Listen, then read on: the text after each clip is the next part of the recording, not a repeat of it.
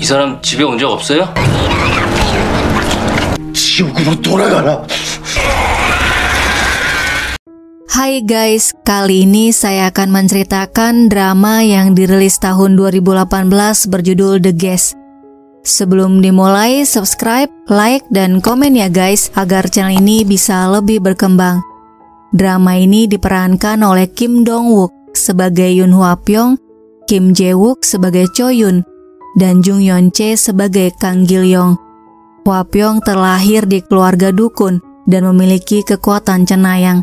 Dia bisa melihat hal gaib, sedangkan Cho Yun adalah seorang pastor yang memiliki kemampuan mengusir setan, dan Gil Yong merupakan seorang detektif yang tidak percaya pada hal gaib. Namun, pandangannya berubah setelah bertemu dengan Hwa Pyong dan Cho Yun. Drama ini menceritakan tentang Hwa Pyong, Cho Yun, dan Gil Yong yang berusaha mengalahkan iblis yang sangat kuat bernama Son. Son merasuki raga seorang pria bernama Pak Kildo dan mempunyai kekuatan mengendalikan iblis lain untuk merasuki manusia yang lemah. Bagaimana kelanjutan ceritanya? Langsung aja kita mulai. Drama ini diawali dengan narasi yang menjelaskan Son berasal dari Laut Timur. Kemudian terlihat seorang wanita membagikan brosur, namun orang-orang mengabaikannya. Son merasuki, menyusup ke dalam sisi gelap dan kelemahan seseorang. Terlihat wanita itu membunuh orang yang mengabaikannya. Orang yang dirasuki Son bukanlah manusia lagi. Dia menikmati kematian orang, menipu dan menertawakan mereka.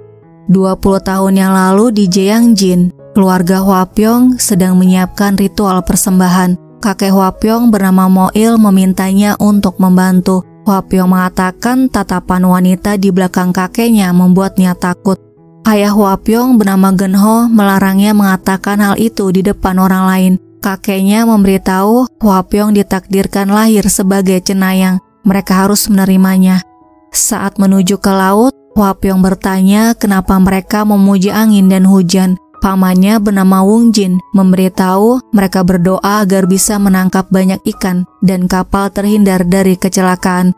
Kemudian Wung Jin menceritakan mengenai Pak Kildo. Saat dia masih kecil, seorang pria aneh tiba-tiba datang ke desa mereka. Setelah pria itu datang, beberapa orang dari desa menghilang. Rumor yang menyebar mereka dibunuh oleh pria itu, tapi ternyata dia dirasuki oleh hantu. Hantu itu bilang namanya Pak Kildo.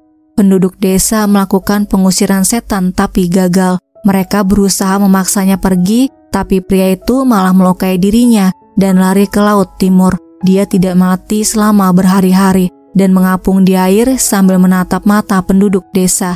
Pada malam harinya, Nenek Huapyong memimpin ritual untuk mendatangkan kedamaian, keberuntungan, dan kesejahteraan, memohon agar desa mereka diberi panen yang baik dan ikan yang berlimpah, serta diberkahi dengan kehidupan yang sehat dan bahagia.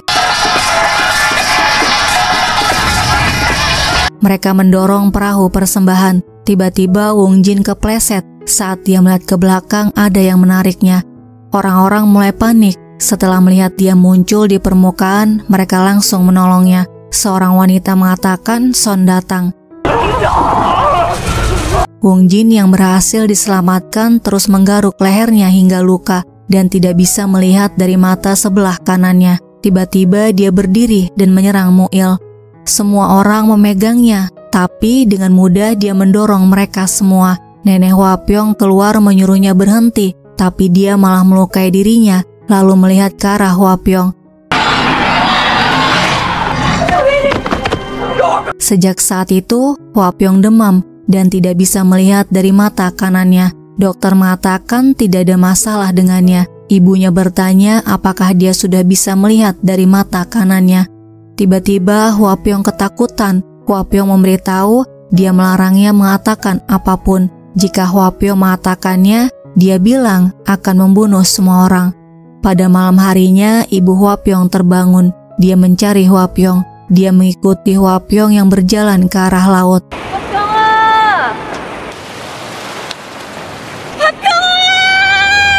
Di atas tebing, Pyong melihat ibunya memanggilnya. Keesokan harinya, ibunya ditemukan mengambang dan tidak lama setelah itu neneknya ditemukan di sebuah pohon. Kakek Huapyong memanggil dukun untuk menekan energi hantu dan mengusir roh jahat yang merasuki Huapyong. Huapyong melihat ke arah sang dukun. Sang dukun mengatakan roh jahat merasuki manusia dan membunuh mereka. Salah satunya masuk ke Huapyong. Dia mengendalikan hantu-hantu kecil dan membiarkan mereka merasuki orang-orang yang lemah. Huapyong dirasuki oleh hantu yang kuat. Dia harus dibunuh. Selanjutnya mereka mendatangkan pastor yang ahli dalam mengusir setan, yaitu Yang Yunmo dan Choi Sang Hyun. Pastor yang mengatakan dia tidak kerasukan karena dia tidak bereaksi terhadap Alkitab maupun salib. Kemudian bertanya bekas luka apa ini. Muil memberitahu Huapyong melakukan itu pada dirinya sendiri dengan kekuatannya. Mereka pikir Huapyong disiksa, jadi mereka meminta Muil untuk membawanya ke dokter. Sebelum pergi, Pastor Choi memintanya untuk datang ke gereja atau ke rumahnya jika ada yang ingin dia bicarakan. Hua Pyong berbisik, dia mengatakan Son. Saya. Dalam perjalanan pulang, Pastor Yang menanyakan keadaan Pastor Choi yang tampak sakit. Setelah memberitahu dia baik-baik saja, dia memutuskan untuk berjalan pulang ke rumahnya. Di rumah, ayahnya bertanya kenapa dia pulang. Pastor Choi memberitahu ada kabar baik, sebentar lagi dia akan tahu. Tiba-tiba terdengar suara anjing mereka menggonggong terus. Pastor Choi mengatakan akan memeriksanya sambil mengambil pemukul baseball. Sementara itu, Hua Pyong memberitahu dia sudah bisa melihat dengan mata kanannya. Ayahnya teringat ucapan sang dukun. Dia langsung mencekiknya. Kakeknya menolongnya dan Hua Pyong lari keluar. Dia melihat alamat rumah Pastor Choi. Di rumah Pastor Choi, dia melukai ayah dan ibunya. Dia marah pada ayahnya yang memaksanya menjadi pastor, padahal dia sudah bilang tidak mau menjadi pastor. Setelah itu, dia datang ke kamar adiknya Choi Yun. Choi Yun melihat apa yang dilakukan kakaknya. Dia mengunci pintunya. Sementara Hua Pyong berjalan menuju ke rumah Pastor Choi. Dia berhenti setelah melihat rumahnya. Kebetulan ada polisi yang lewat. Polisi itu menghampirinya. Hua Pyong menunjuk rumah Pastor Choi. Polisi itu melihat memar di tangannya, kemudian memutuskan datang ke rumah Pastor Choi. Sebelum masuk, dia memberitahu putrinya untuk tunggu di mobil. Gilyong tidak menanggapinya, dia malah memalingkan wajahnya. Di dalam rumah, Pastor Choi berusaha membuka pintunya, sedangkan Choyun bersembunyi di bawah tempat tidur. Dia berhasil membuka pintunya dan menemukan Choyun.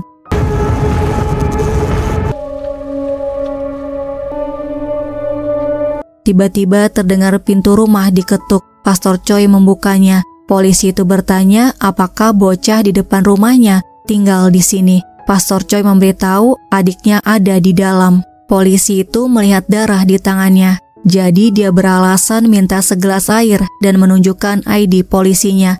Setelah memberikan minum, Pastor Choi pergi ke kamar kecil. Polisi itu menemukan ruangan yang tidak bisa dia buka karena terganjal kaki dan mencium bau. Jadi dia memutuskan menghubungi rekannya minta bantuan. Kemudian polisi itu masuk ke kamar Choyun dan menemukannya. Dia mengajaknya keluar, namun tiba-tiba Pastor Choi menyerangnya.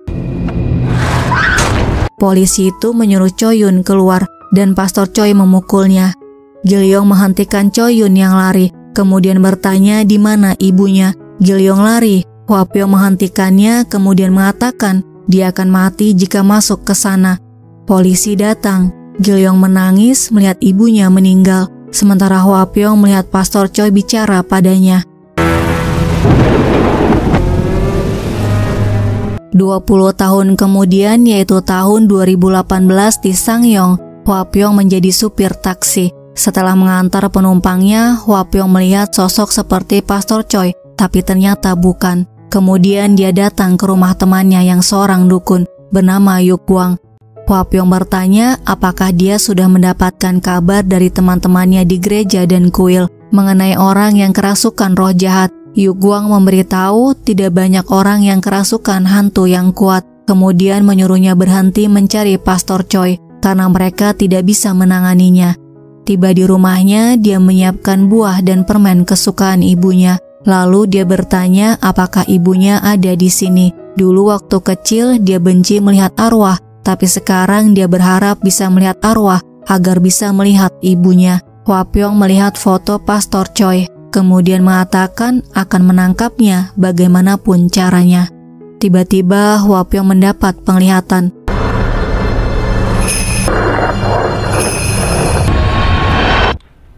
Setelah sadar, dia mencarinya di internet. Keesokan harinya, dia datang ke tempat itu. Seorang pria bertanya apa yang sedang dia lakukan. Huapyo memintanya menghubungi polisi. Polisi datang, mereka mengidentifikasi jasad yang ditemukan. Dia adalah CEO Seal Service. Gilyong datang melihat TKP dengan rekannya bernama Bongsang. Bongsang memberitahu dia tewas karena pendarahan. Mereka merasa aneh karena jasadnya basah dan bertanya-tanya dari mana airnya berasal. Gilyong datang ke kantor Seal Service. Dia bertanya apakah perusahaan mereka pernah membersihkan gorong-gorong waduk. Pegawainya memberitahu mereka melakukannya dua bulan yang lalu. Yang membersihkannya pegawai kontrak bernama Kim Yong-soo. Saat membersihkan gorong-gorong waduk, dia terluka. Kemudian dia memberitahu ada supir taksi yang menanyakan hal yang sama. Sementara itu, Hua Pyong di rumah Kim Yong-soo bertemu dengan istrinya. Dia mengaku dari LSM. Istri Yong-soo memberitahu suaminya tercekik di gorong-gorong waduk yang mengakibatkan kerusakan otak. Dia tidak bisa berjalan atau bicara dengan baik.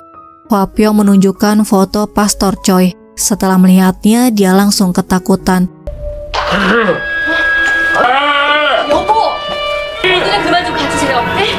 Sebelum pergi, Huapyo minta dia untuk menghubunginya jika suaminya mulai bersikap seperti orang yang berbeda. Setelah itu, Huapyo melihat putri Yongsu bernama Sujin. Dia bertanya kenapa tidak masuk ke dalam. Sujin memberitahu sikap ayahnya agak aneh belakangan ini. Dia seperti orang yang berbeda. Setelah mengatakan itu, dia pergi. Huapyong menunggu di mobilnya. Gilyong datang. Dia membawanya ke kantor polisi untuk diinterogasi karena terekam kamera CCTV berada di waduk dan di kantor Seal Service. Gilyong bertanya apa yang dia lakukan di waduk. Huapyong memberitahu punya kemampuan istimewa dari kecil. Semalam dia melihat pembunuh meninggalkan jasad di gorong-gorong waduk yang tentu saja Gilyong tidak mempercayainya. Di rumah Yongsu, dia minta air pada istrinya. Lalu istrinya bertanya apa yang terjadi dengan tangannya. Istrinya merasa takut dia izin berangkat kerja. Di depan pintu, Yongsu bertanya apakah dia akan menghubungi Hua Pyong, kemudian berdiri.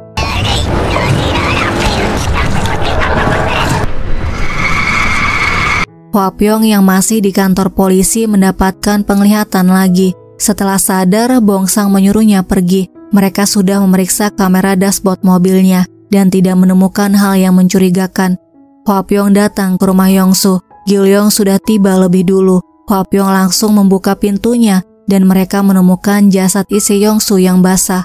Hua Pyong memberitahu suami dan putrinya tidak ada di rumah. Gilyong menyuruhnya keluar dari TKP. Tiba-tiba lampu berkedip. Mereka melihat Yongsu dan langsung mengejarnya.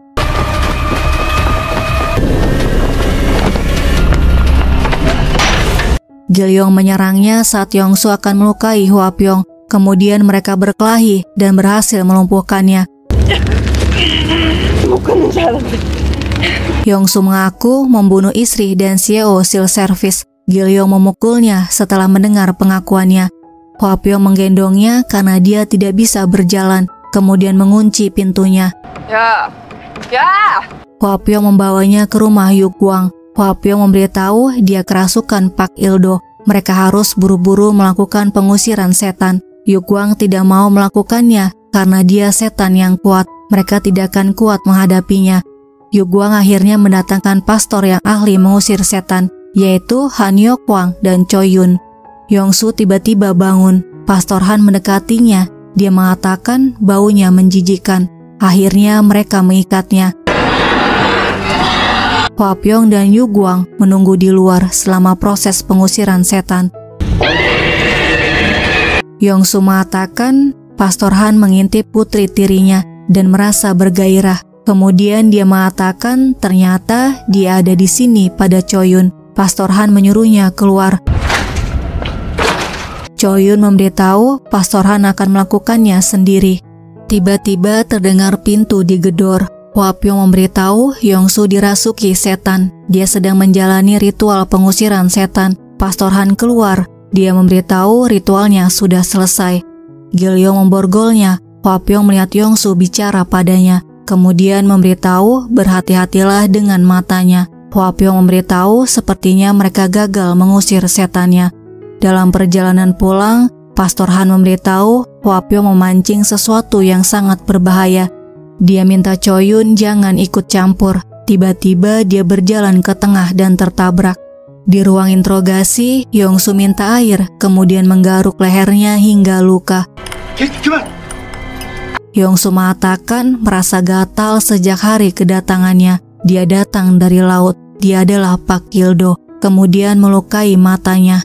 Mereka buru-buru membawanya ke rumah sakit. Pyong melihatnya dan mendapatkan penglihatan di mana putrinya berada. Gilyong menyadarkannya. Dia bertanya bagaimana dia bisa tahu Yongsu akan melukai matanya. Pyong memberitahu Yongsu kerasukan. Dirinya bisa melihat yang dilakukan orang yang kerasukan.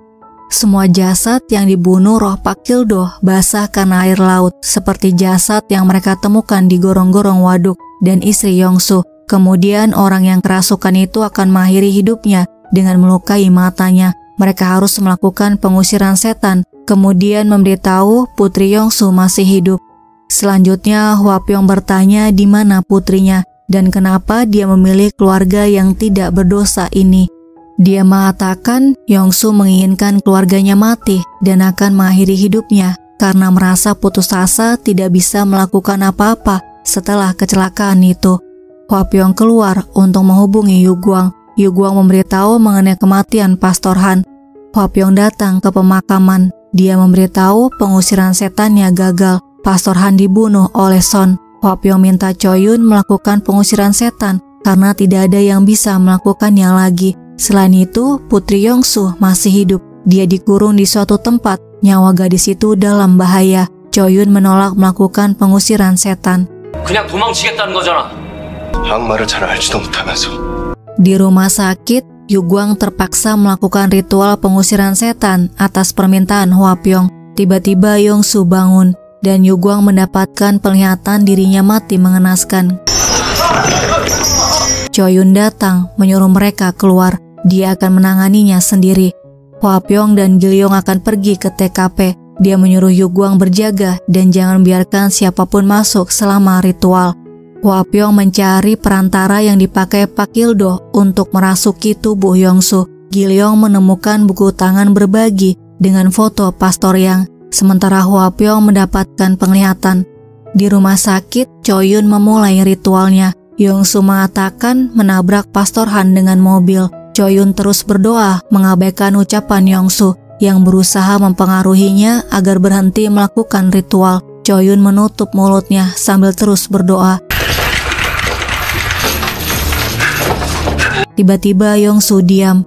Kembali ke Hwapyong, dia melihat Yongsu mencuci tangannya dan melakukan hal yang sama. Tubuhnya bergerak seakan-akan dia adalah Yongsu. Gilyong bertanya ada apa. Hwapyong mengabaikannya. Dia melihat Sujin di depan pintu. Di rumah sakit, Yongsu menunjuk tirai. Saat membalikkan tubuhnya, Yongsu mencekiknya. Yongsu mengatakan semua orang di sekitar Hwapyong akan mati. Dia sama seperti mereka. Sementara Hwapyong tiba-tiba mencekik Gilyong. Dalam penglihatannya, Yongsu mencekik Sujin. Choyun mengeluarkan salibnya, sementara Hwapyong melempar Gilyong dan mereka berkelahi. Gilyong berusaha menyadarkan Hwapyong, kemudian memborgolnya. Hwapyong memberitahu dia bereaksi terhadap orang yang kerasukan. Karena itu, dia bisa melihat pembunuhan. Dia menunjukkan reaksi yang kuat karena ini adalah TKP pembunuhan. Dia baru saja melihat Yongsu dan putrinya. Hwapyong memohon agar Gilyong percaya padanya. Dia menyuruhnya untuk melihat di dalam penyedot asap.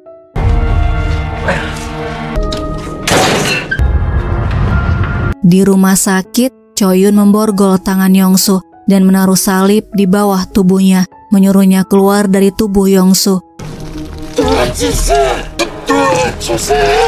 Kemudian menyiram air suci sambil bertanya siapa roh kuat yang memerintahnya. Yongsu menyebut Pak Kildo. Dia muncul di belakang Choyun.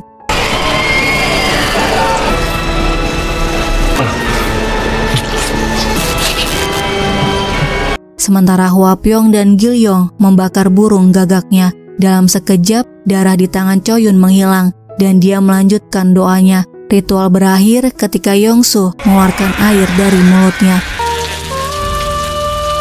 Choyun keluar. Dia mengatakan Yongsu akan memberitahu di mana putrinya berada, kemudian pergi. Hwapyong dan Gilyong langsung menuju ke lokasi di mana Sujin berada dan berhasil menemukannya. Keesokan harinya, Choyun datang menemui Yongsu. Dia memeriksa apakah Yongsu masih kerasukan. Di kantor polisi, Bongsang memberitahu jaksa membebaskan Yongsu dari tuntutan karena dengan tubuhnya yang lumpuh tidak mungkin dia melakukan kejahatan itu. Gilyong datang ke rumah sakit. Dia melihat Wapyong menenangkan Sujin. Wapyong mengatakan jangan khawatir, ayahnya tidak akan bersikap aneh sekarang kemudian menjelaskan yang melakukan itu pada ibunya, bukan ayahnya. Dia dirasuki oleh sesuatu yang jahat. Huapyo menceritakan masa lalunya yang pernah dirasuki dan melakukan sesuatu yang buruk pada keluarganya, tapi dia tidak ingat jadi ayahnya mungkin sama dengannya. Ayahnya yang paling sakit dan menderita dibandingkan orang lain, jadi sebaiknya dia menemui ayahnya. Keluar dari ruangan, Gilyong mengajak Huapyong makan. Gilyong memberitahu Yongsu tidak akan didakwa dan akan bebas. Wapyong memberitahu Yongsu hanya korban.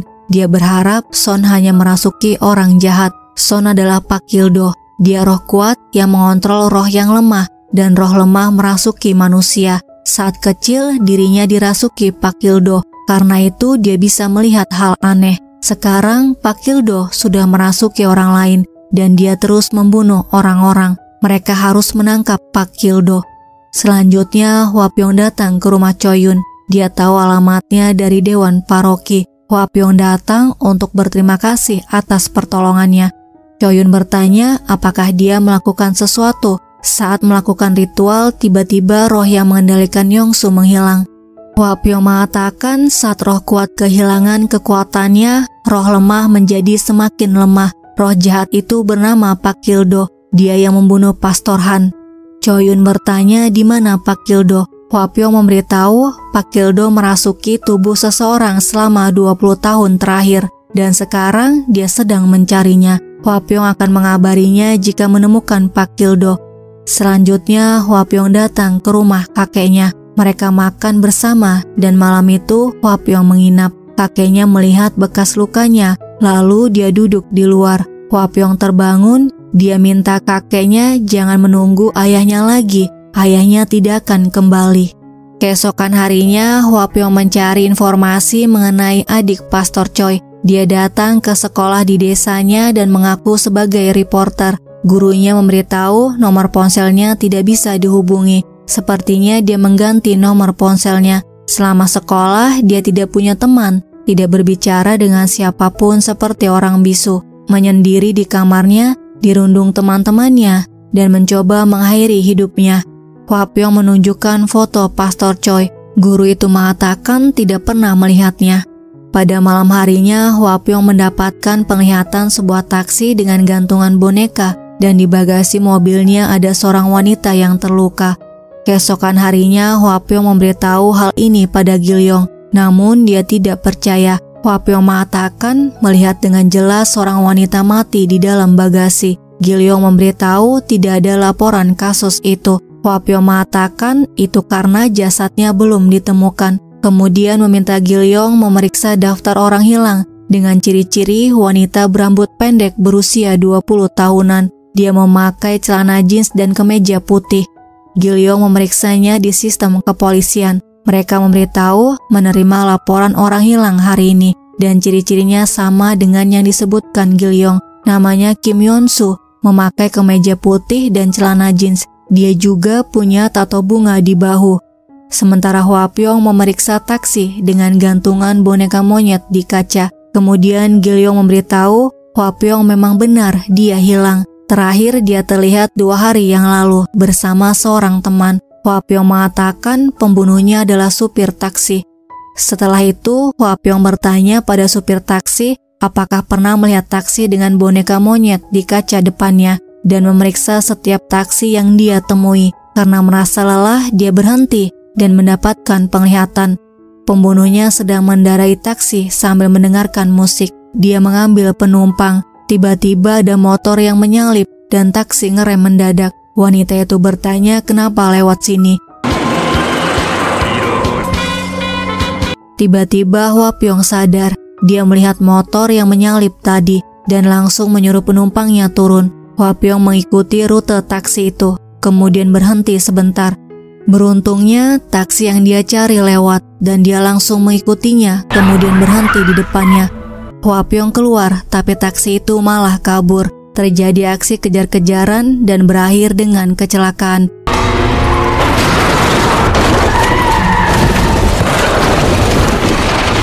Hua Pyong sadar dia melihat pelaku sudah kabur, kemudian membuka bagasi mobilnya. Setelah itu, dia menghubungi Gilyong memberitahu menemukan pelakunya. Tiba-tiba pelakunya memukulnya.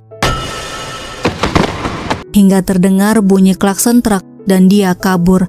Pyong sadar di rumah sakit. Yu Guang sangat senang Pyong sudah sadar dan tidak mengalami cedera parah. Gilyong menemui Pyong. Pyong memberitahu pelakunya melukainya dan dia menemukan jasad wanita di bagasi mobilnya. Supir taksi itu menculik dan membunuh wanita.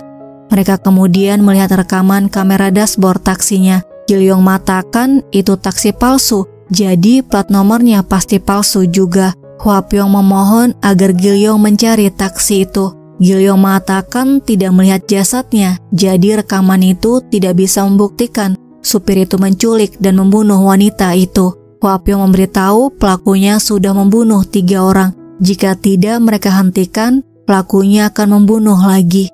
Selanjutnya, Gilyong pergi ke tempat rongsokan mobil. Pemiliknya bernama Minsang. Dia mengatakan mobil ini sudah dibongkar dan plat nomornya sudah dihapus. Mereka kemudian mencari Minggu yang bertanggung jawab menghapus plat nomor. Gilyong menemukan mobilnya, lalu melihat seseorang mengintip dan mengejarnya. Gilyong memukulnya, kemudian bertanya kenapa dia kabur. Minsang melindungi Minggu yang ternyata adalah adiknya. Dia memberitahu Minggu tidak bisa mengemudi dan tidak punya SIM. Selanjutnya, Gilyong bertemu Hua Pyong. Dia bertanya mengenai ciri-ciri korban ketiga dan di mana wanita itu naik taksinya. Setelah memberitahu, Hua Pyong bertanya di mana taksi ilegal itu berada sekarang. Gilyong memberikan alamat tempat rongsokan mobil pada Hua Pyong. Keesokan harinya, Hua Pyong datang bersama Yu Guang. Hua Pyong beralasan dia ingin mengganti kondensor dan spakbot mobilnya. Jadi dia minta izin melihat-lihat di luar. Mereka melihat Minggu menggaruk lehernya. Hua Pyong bertanya apa yang sedang dia dengarkan. Hua Pyong terkejut mendengar lagu yang sama dengan yang diputar di dalam taksi si pelaku. Minsang bertanya apa yang mereka lakukan. Hua Pyong menjelaskan Minggu kerasukan. Yu Guang memberitahu mereka ingin menolongnya. Sementara Hua Pyong menemukan buku tangan berbagi dengan foto pendeta yang Minsang melarangnya menyentuh bukunya. Hua Pyong bertanya apakah Minggu bersikap aneh dan bicara dengan mata yang aneh. Minsang menyuruh mereka keluar. Dia berpikir mereka adalah pengikut agama sesat. Hua Pyong mengingatkan adiknya dalam bahaya jika dibiarkan. Minsang mengancam akan menghubungi polisi, jadi Yu Guang mengajak Hua Pyong pergi. Di luar, Hua Pyong menyuruh Yu Guang mengawasi Minggu, sementara dia pergi menemui pastor yang Di tempat yang lain, Gilyong memeriksa kamera CCTV. Dia menemukan korban yang diculik. Pegawai minimat mengenalnya karena dia selalu datang dan membeli agar-agar untuk anaknya. Wanita itu bernama Yumi. Gilyong mendapat informasi bahwa hari ini Yumi bolos kerja, lalu dia pergi ke rumahnya. Di rumahnya dia bertemu dengan putrinya. Gilyong menunjukkan ID-nya, kemudian bertanya apakah ibunya ada di rumah. Gadis kecil itu memberitahu ibunya tidak ada di rumah dan dia tidak pulang semalam. Gilyong bertanya lagi apakah ada orang dewasa di dalam. Gadis kecil itu menjawab tidak ada. Di gereja, pastor yang ingat dengan Hua Pyong. Hua Pyong memberitahu mencari pastor Choi, kemudian bertanya apakah dia pernah mendengar kabar mengenai pastor Choi setelah insiden itu. Dia mencari roh yang merasukinya dulu, yaitu Pak Kildo. Pastor yang memberitahu dia tidak pernah mendengar kabarnya dan berhenti menjadi pastor pengusir setan setelah insiden itu. Selanjutnya, Hua Pyong bertanya apakah dia mengenal kakak beradik di tempat rongsokan mobil. Pastor yang mengenal mereka karena tangan berbagi mendukung mereka. Hua Pyong memberitahu adiknya dirasuki Pak Kildo. Pastor yang memberitahu waktu kecil dia dianiaya oleh ibunya. Dia menderita gangguan kepribadian dan dokter mendiagnosis bahwa dia takut dan membenci wanita. Hubungan kakak beradik itu akrab, tapi saat ibunya memukulinya, kakaknya malah kabur, jadi dia membenci kakaknya juga. Wapyo mengajukan pertanyaan terakhir, apakah dia tahu di mana adik Pastor Choi tinggal? Wapyo memberitahu ucapan Yongsu bahwa Pastor Choi akan menemui adiknya. Mungkin dia akan mencoba membunuh adiknya lagi. Di tempat rongsokan, Minggu marah. Dia bertanya kenapa dulu kakaknya meninggalkannya saat ibu mereka memukulinya. Minsang buru-buru keluar. Di depan pintu ada Yuguang. Dia memberitahu akan membantunya. Selanjutnya, Hua Pyong minta bantuan Choyun. Choyun izin melihat tangannya, kemudian menaruh kain putih di telapak tangannya. Setelah itu dia keluar. Choyun memberitahu Minggu sakit. Dia suka berhalusinasi, melukai dirinya, dan punya banyak kepribadian. Minggu membutuhkan psikoterapi. Dia tidak kerasukan. Kalau dia kerasukan, dia akan bereaksi terhadap salib yang disembunyikan. Tiba-tiba burung gagak terbang ke arah mereka, dan lebih banyak lagi burung gagak yang jatuh. Sementara itu, Gilyong datang lagi ke rumah Yumi. Kali ini Yumi ada di rumah. Gilyong melihat bekas luka di tangan Yumi. Lalu dia menceritakan penculikannya. Yumi bisa lolos karena bagasi mobilnya rusak setelah kecelakaan. Jadi dia bisa keluar dari bagasi.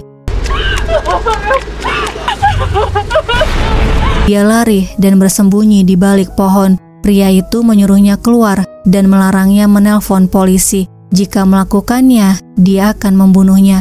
Gilyong bertanya apakah dia ingat di mana tempatnya. Yumi memberitahu melihat banyak mobil tua. Di tempat rongsokan mereka mulai melakukan ritual. Choyun menempelkan salib di punggung Minggu sambil berdoa. Tiba-tiba lampunya mati. Choyun mengatakan mereka salah. Minggu tidak bereaksi saat dibacakan doa. Dia tidak kerasukan. Huapyo memperlihatkan foto Pastor Choi. Dia bertanya apakah pernah bertemu dengannya.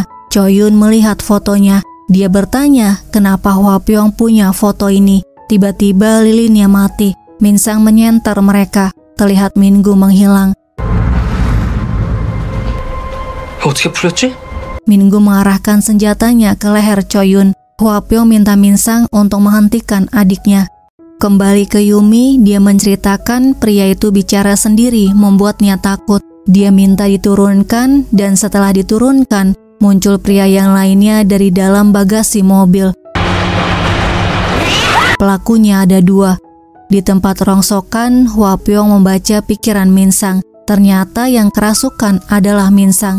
Sementara di jalan, Gilyong minta Bongsang datang ke tempat rongsokan dan memberitahu kakak beradik itu bekerja sama melakukan penculikan dan pembunuhan. Kemudian Gilyong menghubungi Hua Pyong. Dia mengatakan Hua Pyong benar, wanita itu diculik dan dia kabur.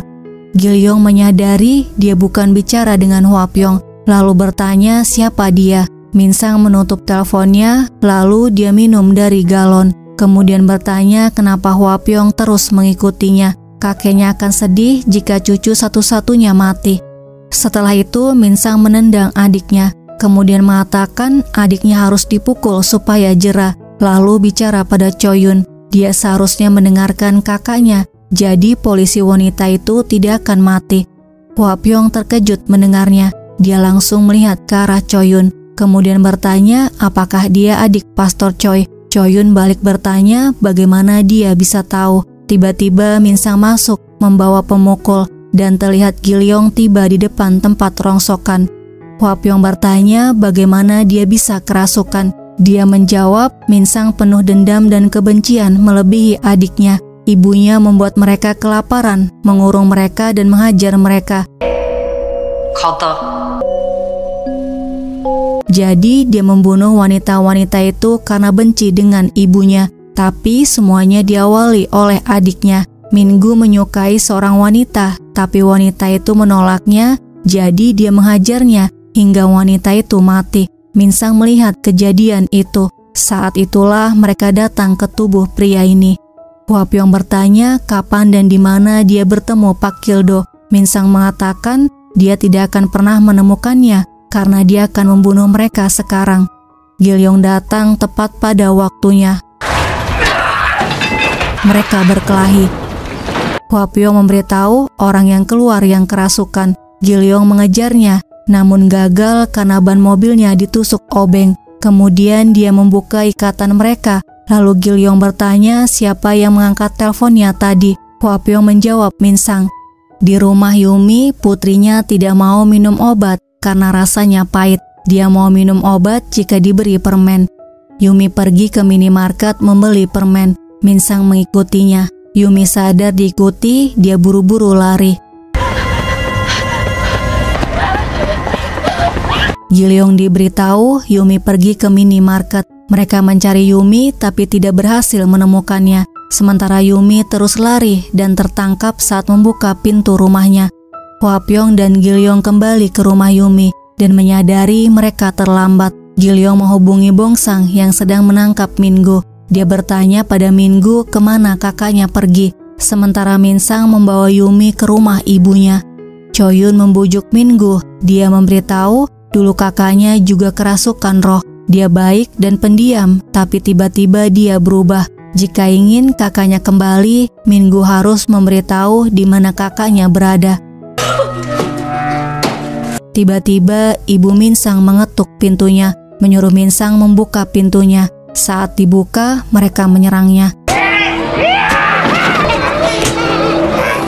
Gileong memborgolnya dan membawanya ke mobil. Dia akan membawanya ke kantor polisi. Hua Pyong minta waktu untuk mengusir setannya. Jika Gilyong membawanya sekarang, dia akan mencoba mengakhiri hidupnya.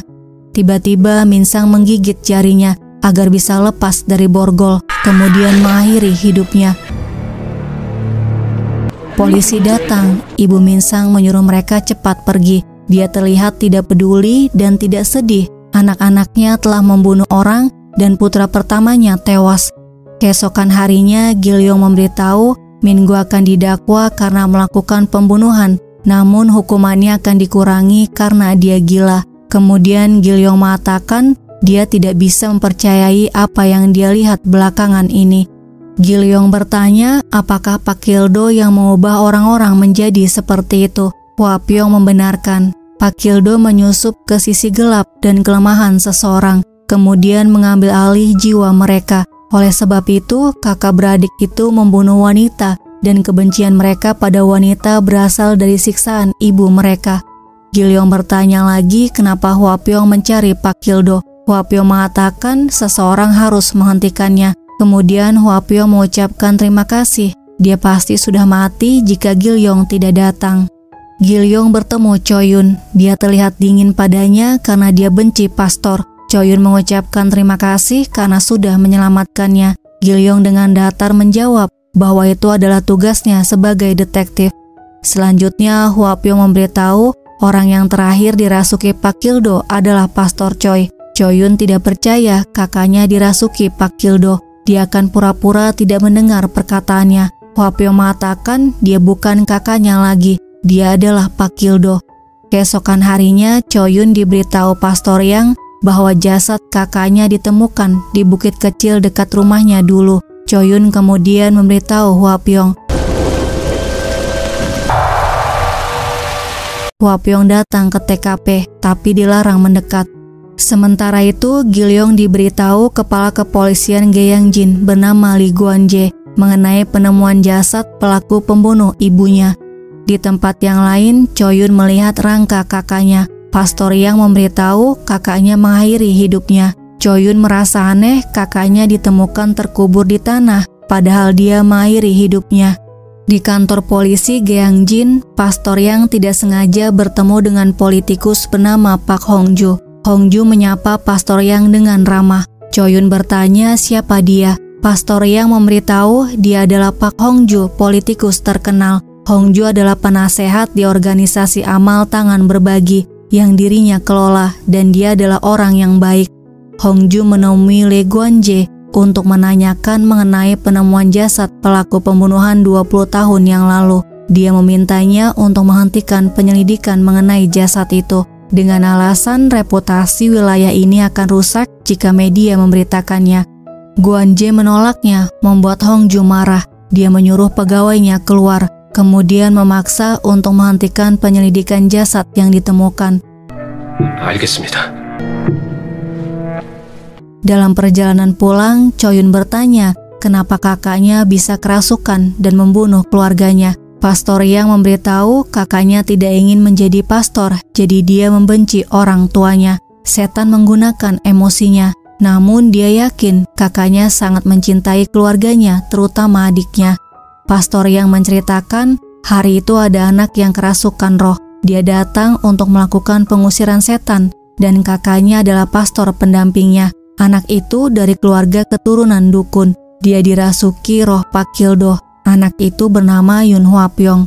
Pada malam harinya, Huapyong datang ke TKP dan bertemu dengan Choyun. Choyun marah pada Huapyong, kakaknya kerasukan karena dia.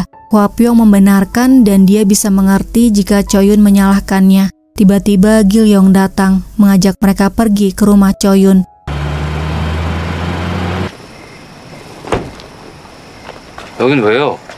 Gil Yong memberitahu 20 tahun yang lalu ada keluarga yang dibunuh di sini. Saat itu seorang detektif wanita sedang lewat dan menyelamatkan putra keluarga ini. Tapi detektif wanita itu tewas di TKP Wanita itu adalah ibunya. Mereka semua teringat kejadian malam itu. Ibunya tewas karena berusaha menyelamatkan Choyun. Setelah membunuh, kakak dia menghilang dan kasusnya tidak terpecahkan. Sejak saat itu, dirinya hidup menderita setiap hari. Dirinya menjadi detektif karena ingin menangkapnya, tapi ternyata dia sudah mati 20 tahun yang lalu. Hua Pyong memberitahu pelakunya bukan Pastor Choi. Pastor Choi dirasuki Pak Kildo saat itu. Hua Pyong menceritakan dirinya yang kerasukan Pak Kildo dan Pastor Choi yang berusaha mengusir setan dalam dirinya. Saat itulah Pak Kildo pindah ke tubuhnya. Malam itu, dia datang untuk menemui Pastor Choi, tapi dia merasakan hal buruk terjadi. Jadi, dia tidak bisa masuk dan hanya berdiri di sini. Lalu, seorang wanita lewat dan menghampirinya. Dia pikir dirinya adalah anak yang disiksa. Gilyong terkejut, anak itu adalah Hua Pyong. Hua Pyong membenarkan ibunya masuk ke rumah itu karena dirinya. Gilyong yang marah memukul Hua Pyong, kemudian pergi meninggalkan mereka.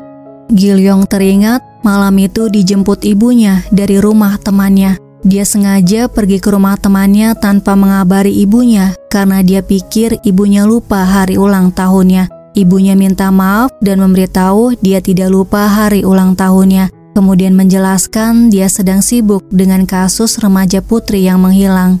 Gilyong diam saja. Dia masih kesal dengan ibunya, walaupun ibunya sudah berkali-kali minta maaf. Setelah itu, mereka melihat Pyong berdiri di dekat rumah Choyun. Gilyong teringat melihat wajah ibunya sebelum masuk ke rumah itu. Dia merasa sangat menyesal mengacuhkan ibunya malam itu. Padahal ulang tahun bukanlah masalah besar. Terlebih lagi, dia tidak mengatakan sepatah kata pun saat ibunya minta maaf. Jika dia langsung pulang setelah sekolah, ibunya tidak akan menjemputnya, jadi mereka tidak perlu melewati rumah itu. Selanjutnya, Hua Pyong datang ke rumah kakeknya. Kakeknya mengatakan semua salahnya. Sejak saat itu, setiap memejamkan mata, dia selalu teringat kejadian itu. Ibunya masih muda, seharusnya kakeknya yang mati. Kakeknya minta Hua Pyong melupakan semuanya dan menjalani hidupnya karena orang mati tidak bisa kembali. Keesokan harinya, Hua Pyong menemani Choyun mengkremasi kakaknya. Choyun mengatakan dia tahu kakaknya kerasukan, tapi dia selalu menyalahkan kakaknya, membencinya dan takut padanya. Choyun bertanya apa yang harus dia lakukan untuk menemukan Pak Kildo. Hua Pyong memberitahu jika dia mulai mencari Pak Kildo, hidupnya tidak akan normal lagi. Di tempat yang lain, seorang wanita bernama Kim Yun Hee menuju ke atap. Dia menerima pesan kemudian membacanya. Orang itu menyuruhnya membunuh semua orang. Di sebuah rumah, Gilyong dan Bong Sang sedang memeriksa TKP. Penghuni apartemen itu bernama Kang Jong Ryol yang dilaporkan menghilang. Di kantor polisi, mereka menginterogasi Yun Hee. Dia adalah pacar Jong Ryol. Yunhee memberitahu mereka sudah putus dua bulan yang lalu. Terakhir kali dia bicara dengan pacarnya saat mereka putus. Setelah itu, Yunhee pergi ke gereja. Choyun diminta menanganinya karena dia menunjukkan gejala kerasukan. Yunhee memberitahu tidak merasa seperti dirinya sendiri. Dia merasa seseorang mengawasinya siang, malam, dan ke mana pun dia pergi. Dia juga tidak ingat apa yang sudah dia lakukan. Choyun bertanya apakah dia melihat sesuatu dan berhalusinasi. Yunhee memberitahu menerima pesan teks menyuruhnya membunuh semua orang. Choyun bertanya siapa yang mengiriminya pesan. Yunhee menjawab tidak tahu. Katanya dia mendapatkan nomornya dari seorang pria. Choyun minta izin melihat isi pesannya. Yunhee memberitahu isi pesannya hilang keesokan harinya. Choyun memintanya untuk bicara dengan psikiater dan datang ke rumah sakit. 신부님 제 말 안 믿으시는 거죠? Sebelum pergi, Choyun bertanya siapa pria yang memberi nomor teleponnya. Yunhee menjawab tidak tahu siapa pria itu, tapi dia ingat namanya, Pak Kildo. Setelah itu, Choyun bertemu dengan Hwa Pyong. Dia menceritakan mengenai Yunhee. Sementara itu, Gilyong datang ke kantor Jong Ryol. Mereka memberitahu Jong Ryol sudah berhenti bekerja sebulan yang lalu. Mereka tidak tahu alasan dia berhenti apa, tapi dia pikir mungkin karena Jong Ryol sulit beradaptasi. Pada malam harinya, Yunhee menerima pesan lagi menyuruh membunuh semua orang. Yunhee membalas tidak bisa melakukannya. Orang itu ngatain Yunhee bodoh dan menyuruhnya mengairi hidupnya. Yunhee menangis, tapi tiba-tiba dia langsung bercermin, memakai lipstik dan memasukkan semua pisau kemudian pergi. Di depan apartemennya, Choyun dan Hwa Pyong sudah menunggunya. Yunhee memanggil Choyun anak yatim. Dia menyuruhnya minggir. Kemudian pada Hwa Pyong, dia mengatakan kakeknya akan segera mati menyusul ibu dan neneknya. Hwa Pyong bertanya di mana Pak Kildo dan mengambil tasnya. Hwa Pyong menemukan buku tangan berbagi dari dalam tasnya. Kemudian bertanya dari mana dia mendapatkannya. Yunhee teriak, lalu pura-pura jatuh. Choyun berusaha membantunya. Orang-orang yang melihat menyangka mereka ingin melukai Yunhee. Kemudian mereka memegang Hwa Pyong dan Choyun. Yunhee menggunakan kesempatan ini untuk lari ke rumahnya. Di rumahnya dia mendapatkan pesan bunuh semua orang. Polisi datang. Hwa Pyong berusaha menjelaskan bahwa mereka salah paham. Tidak lama setelah itu, Gilyong datang. Lalu Yunhee keluar dengan luka di tangannya. Yunhee dibawa ke rumah sakit, sementara Hwa Pyong dan Choyun dibawa ke kantor polisi untuk diinterogasi. Sebelum pergi, Hwa Pyong memberitahu Yunhee kerasukan. Dia harus mengawasinya.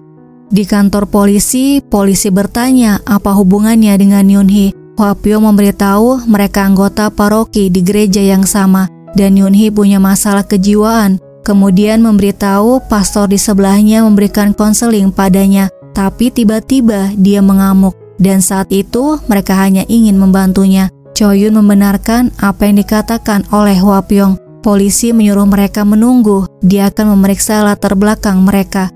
Di rumah sakit, Gilyong bertanya apakah dia membunuh pacarnya dan membuang jasadnya. Yunhee menjawab tidak. Bongsang mengatakan sepertinya kondisi kejiwaannya tidak stabil. Dia akan memeriksa catatan medisnya. Gileong memberitahu mungkin bukan masalah kejiwaan. Dia akan bicara lagi saat Yunhee sudah tenang. Perawatnya keluar, dia mengatakan pasien memintanya untuk menyampaikan bahwa pacarnya menunggu di area parkir dekat rumahnya. Dalam perjalanan, Gilyong tiba-tiba menghentikan mobilnya. Dia menyuruh Bongsang untuk datang sendiri ke area parkir, sementara dia kembali ke rumah sakit. Di area parkir, Bongsang menemukan mobil yang tertutup. Saat dia membukanya, dia menemukan jasad Jong Ryol. Sementara Gilyong diberitahu perawat, Yunhee menghilang. Di kantor polisi, Hwapyo mendapatkan penglihatan. Dia melihat Yunhee melukai seorang pria kemudian memakai lipstik dan bersiul. Hwa Pyong juga bersiul sama seperti Yunhee.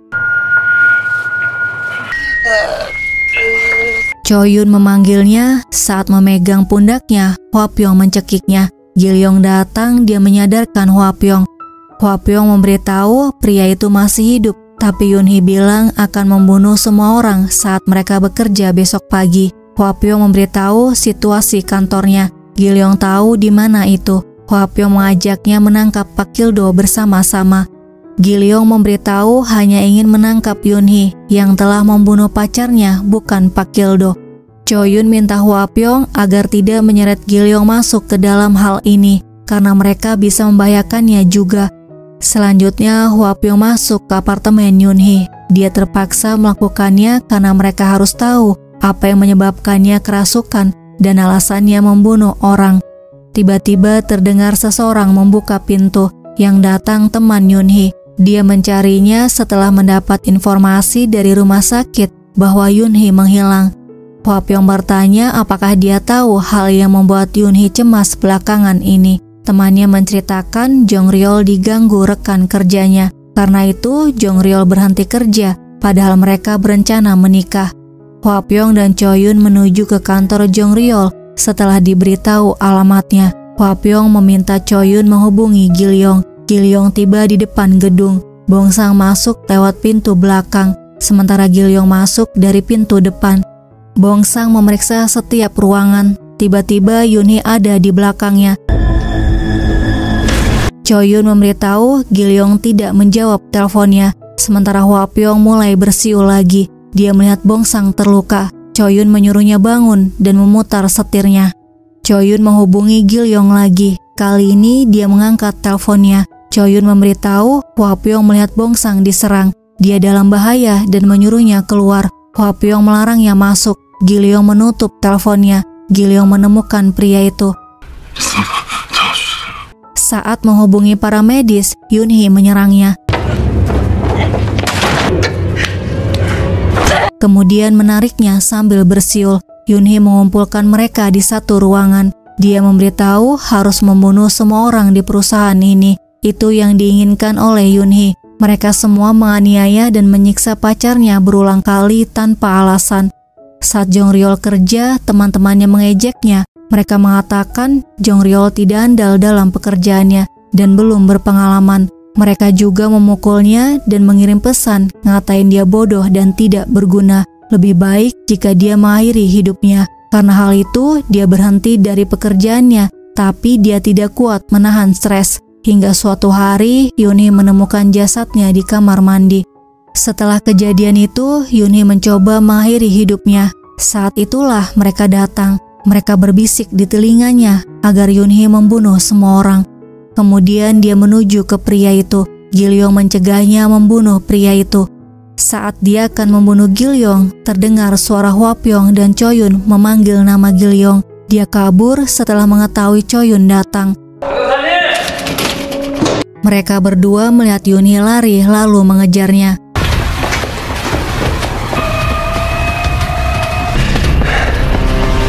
Hwapyong menggunakan taksinya berhasil menghentikannya. Yuni mencekiknya dan Choyun menempelkan salib lalu berdoa. Kemudian Yunhee tidak sadarkan diri. Choyun menyuruhnya pergi mencari Gilyong.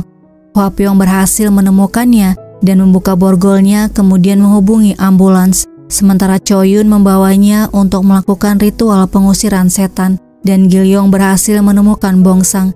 Choyun menyiapkan peralatannya. Yunhee berusaha mempengaruhinya dengan mengatakan Choyun akan mati karena Wapyong sama seperti kakak, ibu, dan ayahnya. Semua orang di dekat Wapyong akan mati karena dia sama seperti mereka. Kemudian Yunhee pura-pura sadar. Dia merasa sakit dan minta dilepaskan. Choyun melepaskan ikatannya. Saat itulah Hwapyong datang menyadarkan Choyun.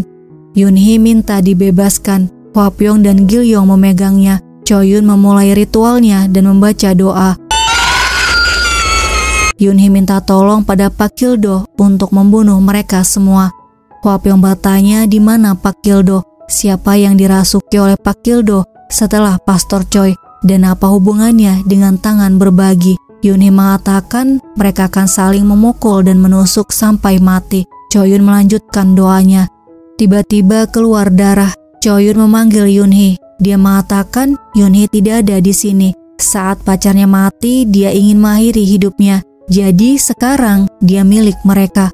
Choyun memanggil Yunhee lagi. Dia menyuruhnya bertahan dan mengatasi roh yang merasukinya demi bayi yang ada di dalam kandungannya. Mereka tahu dari teman Yunhi bahwa dia mengandung anak Jong Jongryol.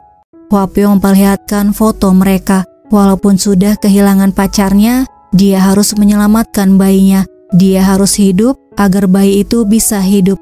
Choi Yun melanjutkan doanya dan akhirnya Yunhi selamat.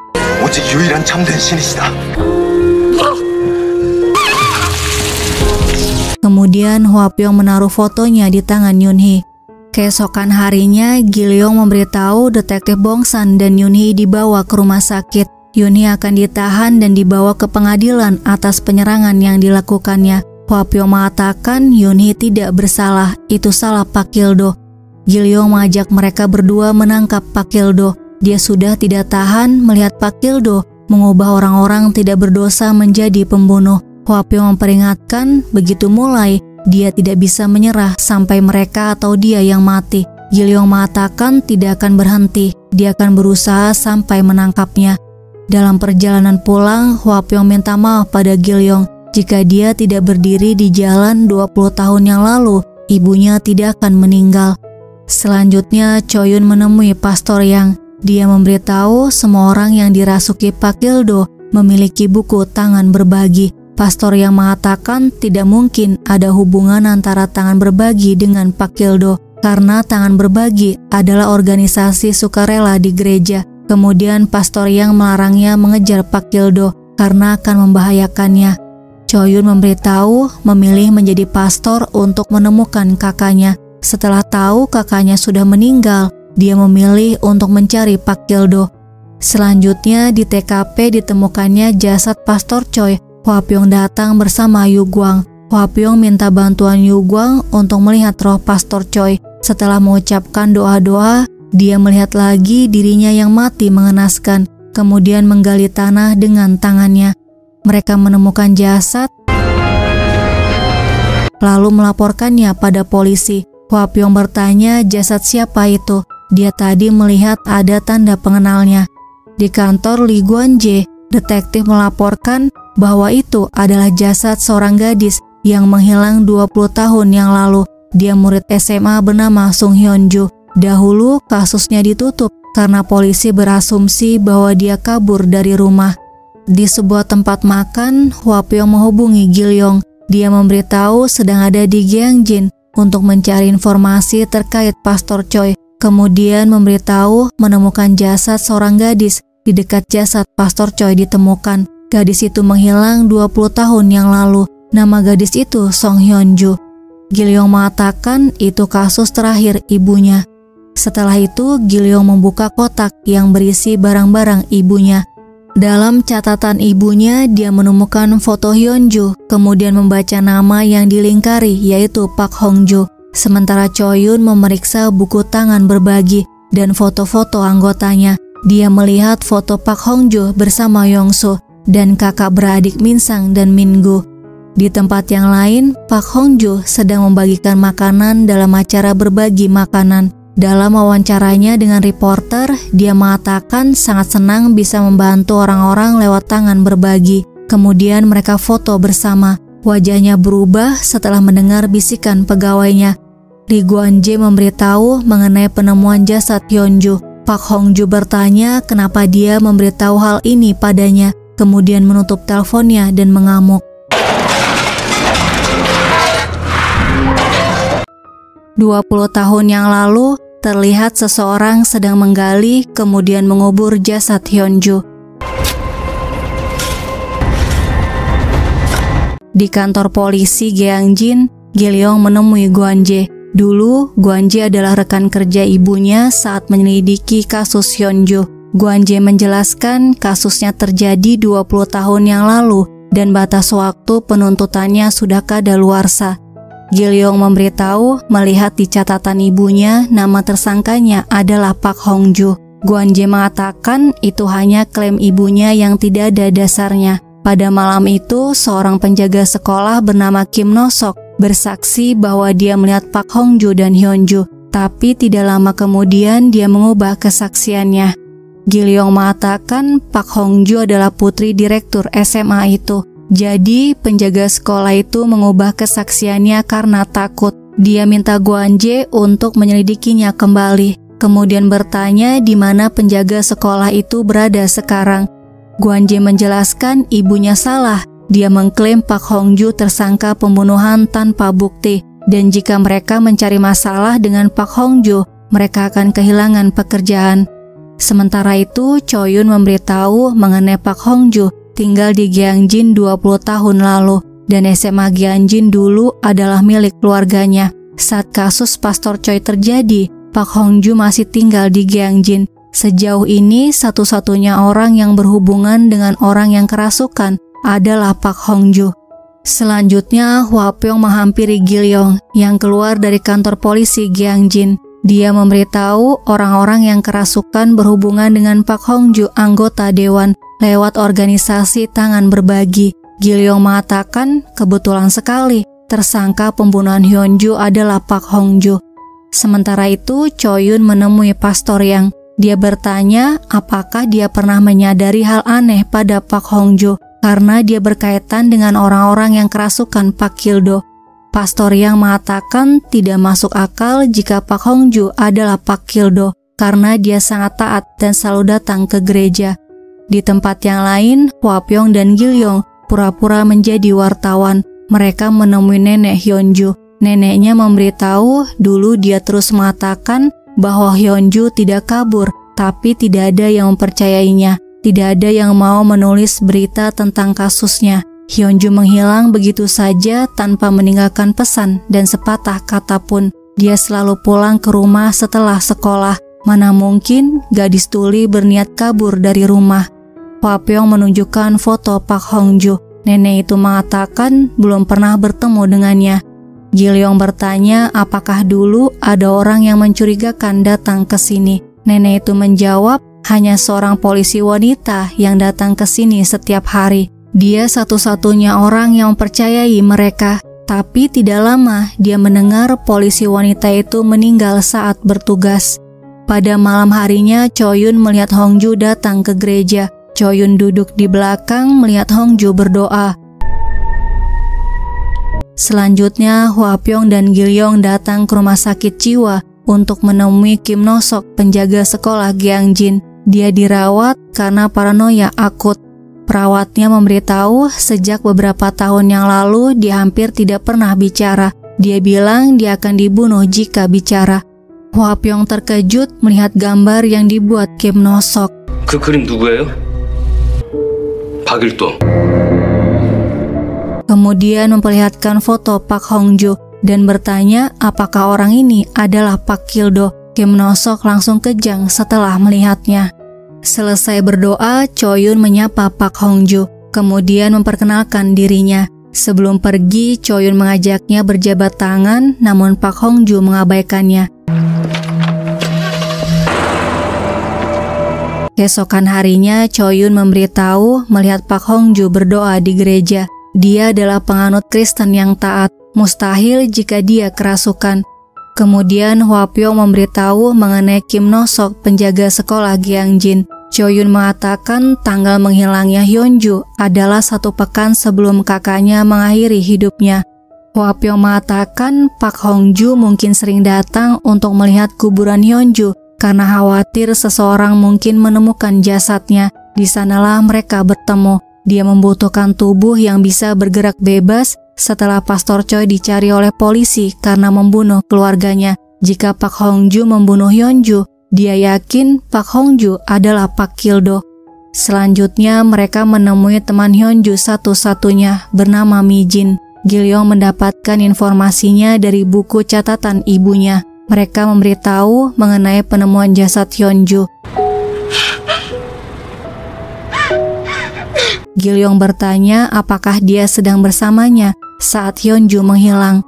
Mijin menceritakan malam itu dia melihat Hyunju bersama putri direktur yaitu Pak Hongju.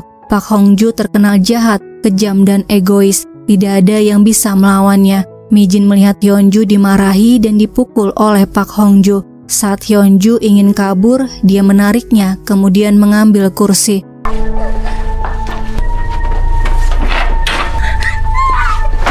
Mijin melihat Hyunju tidak bergerak seperti orang mati. Lalu dia buru-buru lari karena ketakutan untuk minta bantuan. Setelah menuruni tangga, dia bertemu dengan penjaga sekolah Kim Nosok. Kim Nosok naik ke atas untuk memeriksa apa yang terjadi sementara Mijin menunggunya di tangga. Kim Nosok kembali, dia memberitahu tidak ada masalah serius dan menyuruhnya pulang lalu mengatakan Direktur Pak akan mengantar Hyunju pulang, jadi jangan khawatir. Kim Nosok menyuruhnya jangan memberitahu siapa pun mengenai apa yang dia lihat malam ini. Keesokan harinya Hyunju tidak sekolah, begitu juga hari berikutnya. Gurunya mengatakan Hyunju kabur dari rumah. Mijin tidak menghubungi polisi karena takut dikeluarkan dari sekolah dan polisi juga mengatakan Hyunju kabur dari rumah. Tapi ada polisi wanita yang mengatakan dia tidak percaya Hyunju kabur dari rumah. Akhirnya dia memutuskan untuk memberitahu semuanya pada polisi wanita itu. Tapi sehari sebelum mereka bertemu, polisi wanita itu tewas karena terlibat dalam kasus pembunuhan keluarga.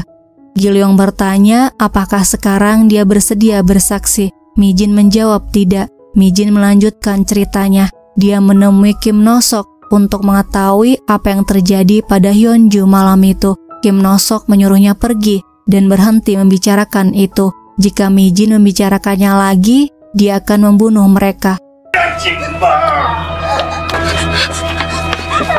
Setelah itu, dia tidak pernah menceritakan kejadian malam itu pada siapa pun. Dia meyakinkan dirinya bahwa Hyunju kabur dari rumah, tapi sampai sekarang dia merasa bersalah pada Hyunju. Menurutnya, Hyunju menghukumnya karena putranya tidak bisa mendengar dengan baik. Keesokan harinya, Hua Pyong datang ke acara tangan berbagi. Dia mengaku sebagai salah satu pendukungnya dan memberitahu berasal dari desa yang sama, yaitu Gyeongjin. Hua Pyong kemudian menceritakan mengenai penemuan tengkorak gadis yang menghilang 20 tahun yang lalu. Gadis itu sekolah di tempat dia menjabat sebagai direktur.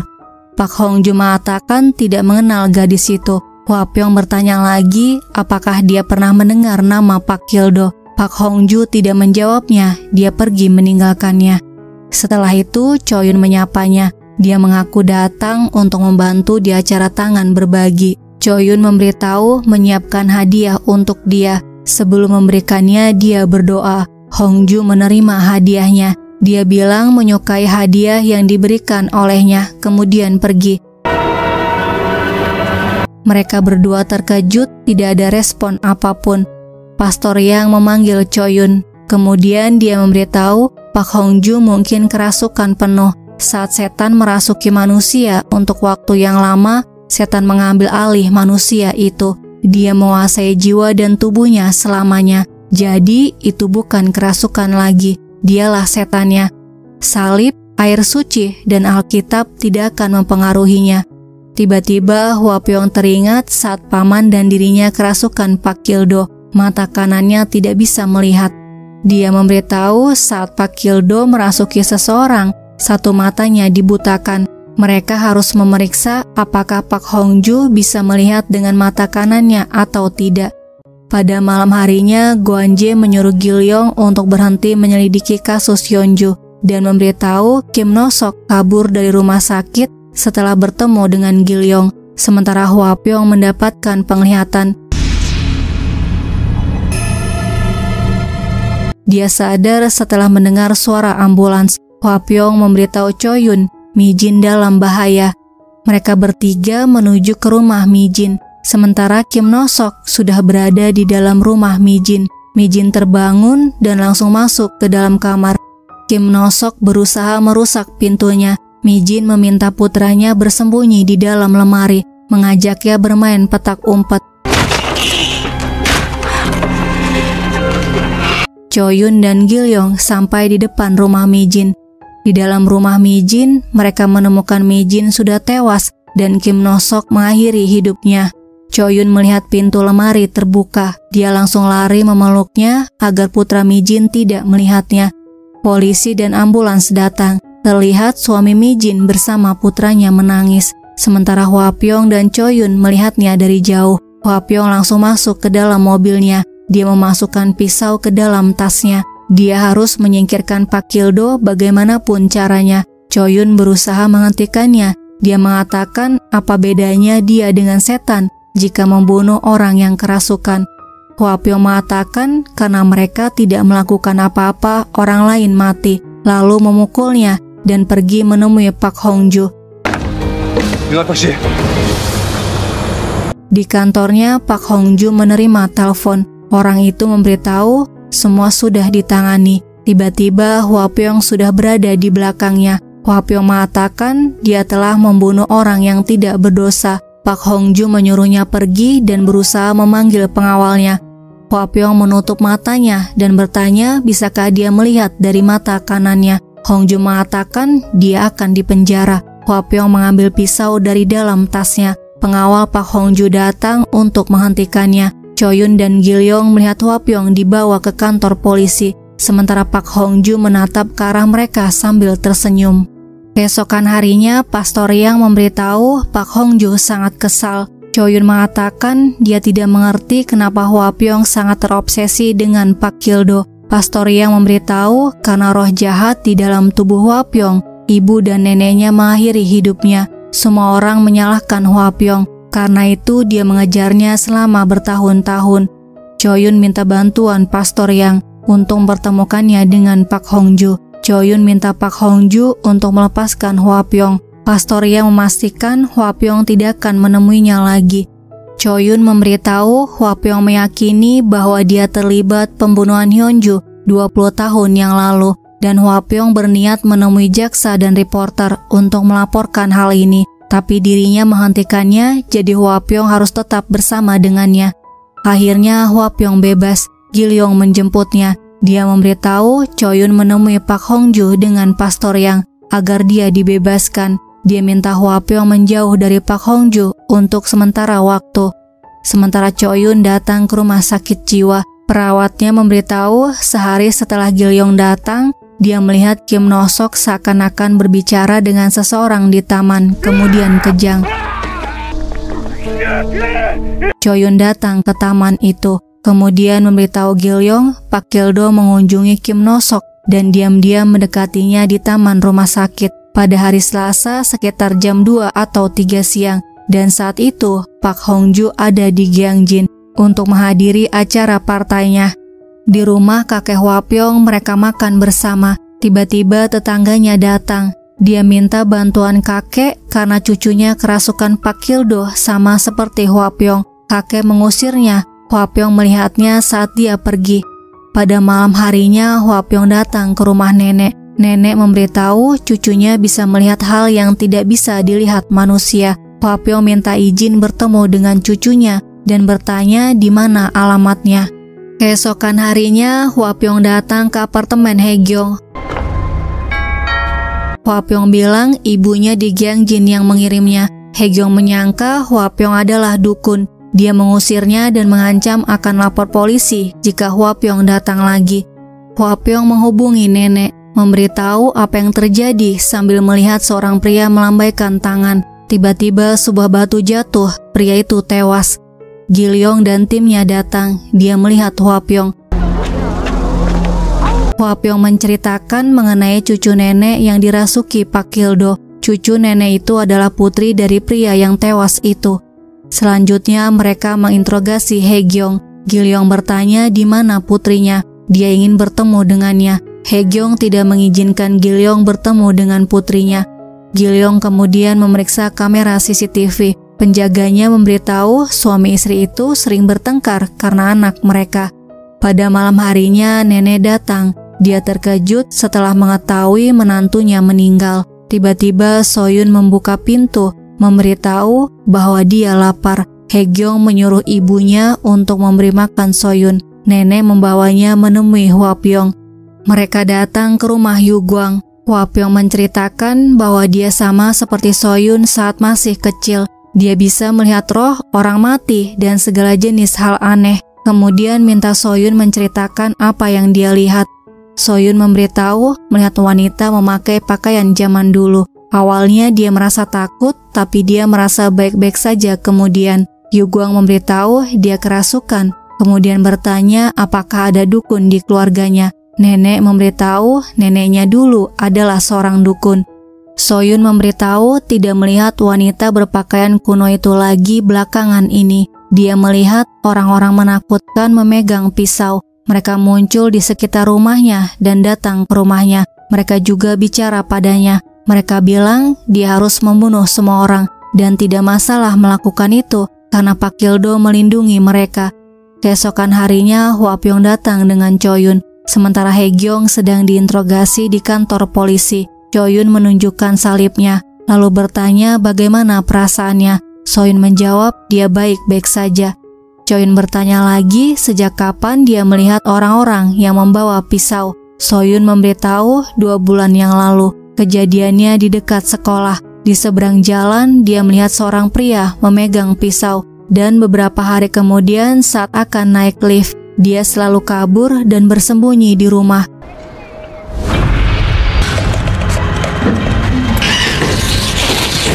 Mereka tidak bisa memasuki rumahnya, tapi mereka semakin dekat.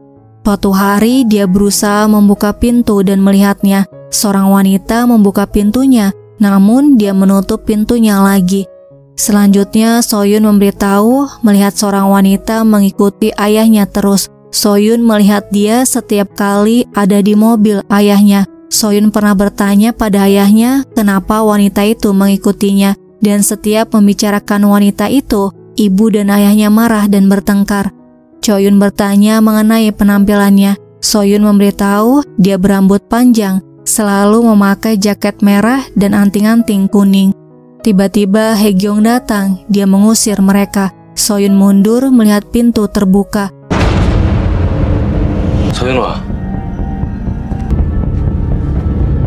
Hegyong menutup pintunya. Choyun menempelkan salib dan Hwapyong memegangnya. Kemudian Choyun berdoa. Soyun sadar dia memanggil ibunya dan Hegyong memeluknya.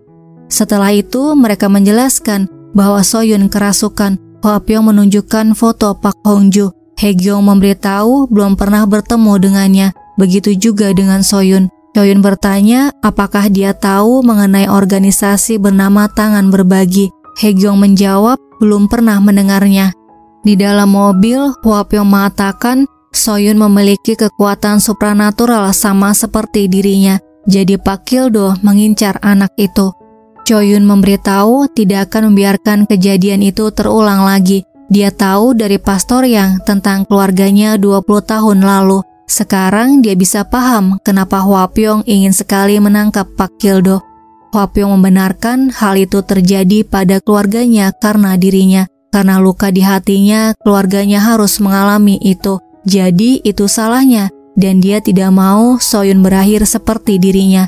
Selanjutnya, Huapyong minta bantuan Gilyong untuk menyelidiki Jung Hyun Soo, ayah Soyun. Karena Soyun bilang seorang wanita mengikutinya tiap kali dia naik mobil ayahnya. Wanita dengan kepala berdarah, memakai jaket merah dan anting-anting kuning.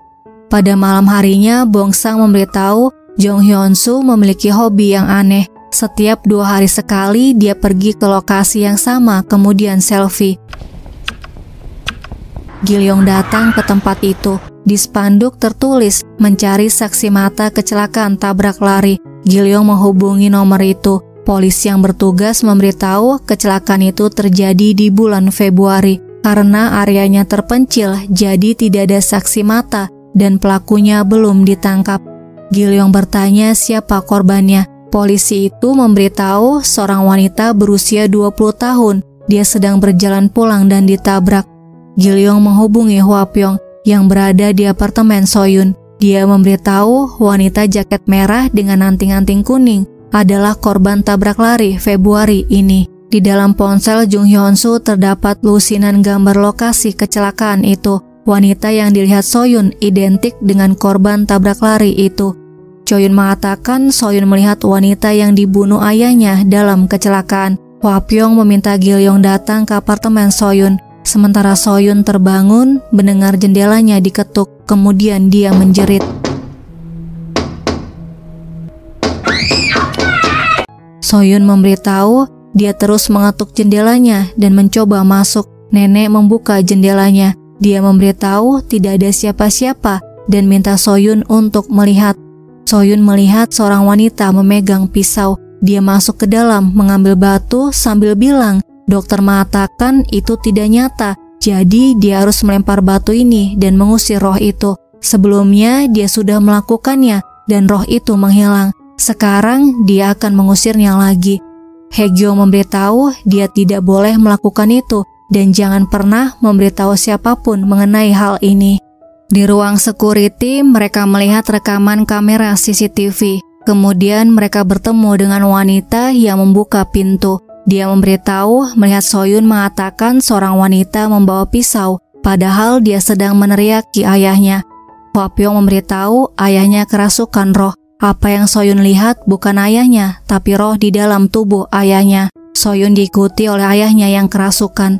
Choyun mengatakan Jung Hyun Soo pasti merasa cemas dan tersiksa putrinya bisa melihat wanita yang dia bunuh. Saat itulah dia bertemu dengan Pak Gildo. Saat Jung Hyun Soo tewas, mereka mencari tubuh baru dan tubuh Soyun yang memiliki kemampuan supranatural adalah tubuh yang sempurna.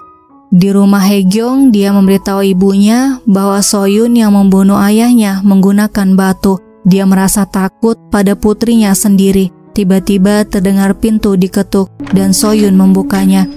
Setelah itu, Soyun berjalan keluar.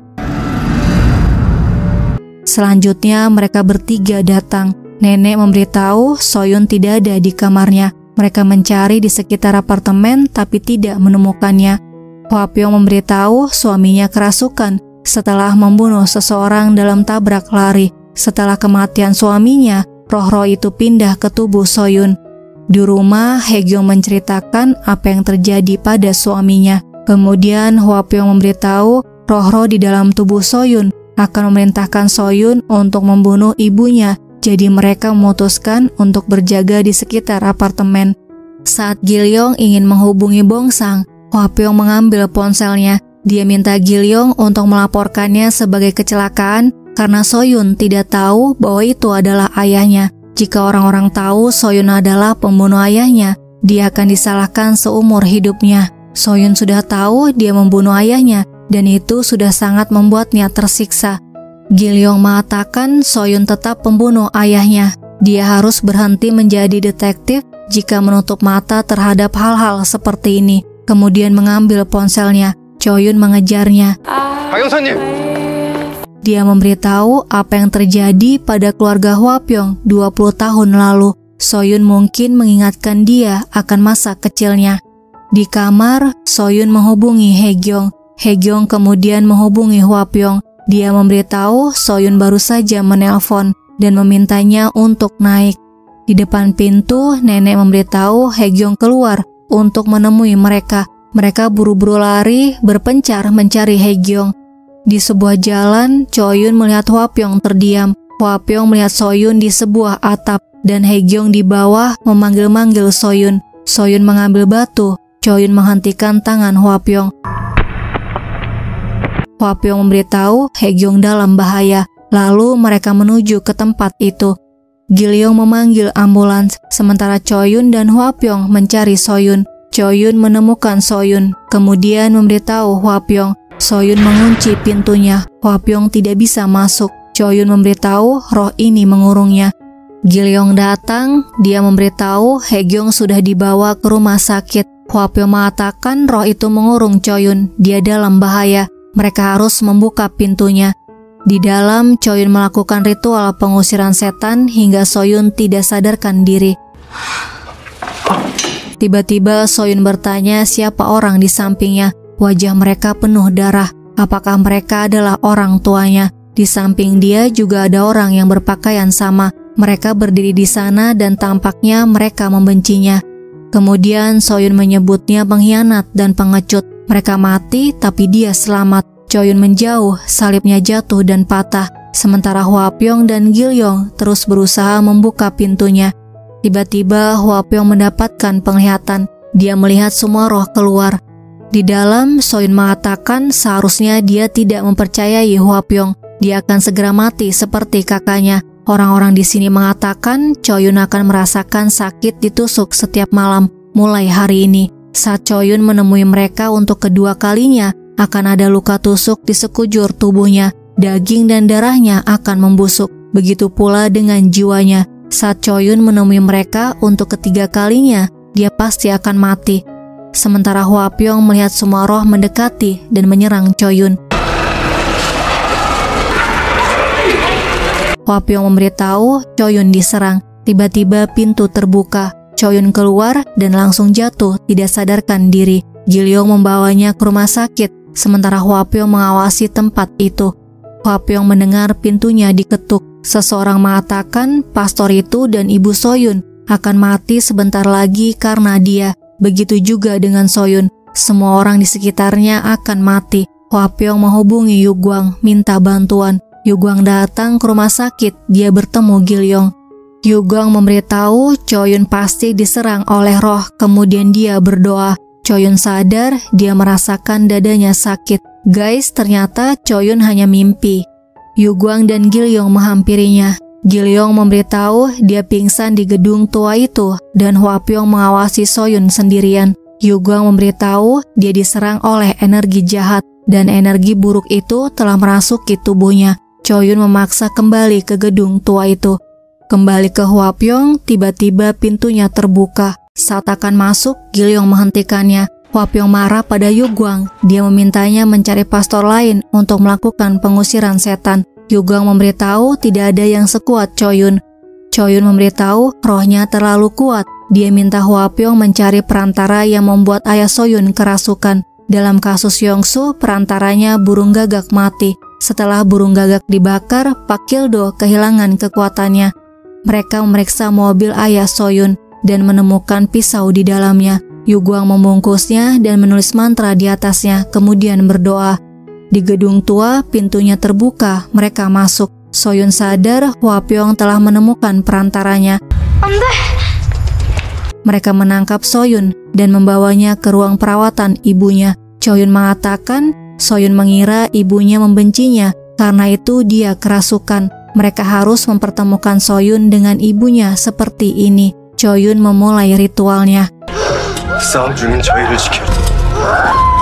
Di tempat yang lain, Hua Pyong dan Yu Guang berusaha menghancurkan pisaunya. Pisaunya patah setelah dipukul oleh Yu Guang. Akhirnya keluar air dari mulut Soyun dan terdengar pintu diketuk. Gilyong melarang mereka masuk dan minta mereka untuk menunggu sebentar.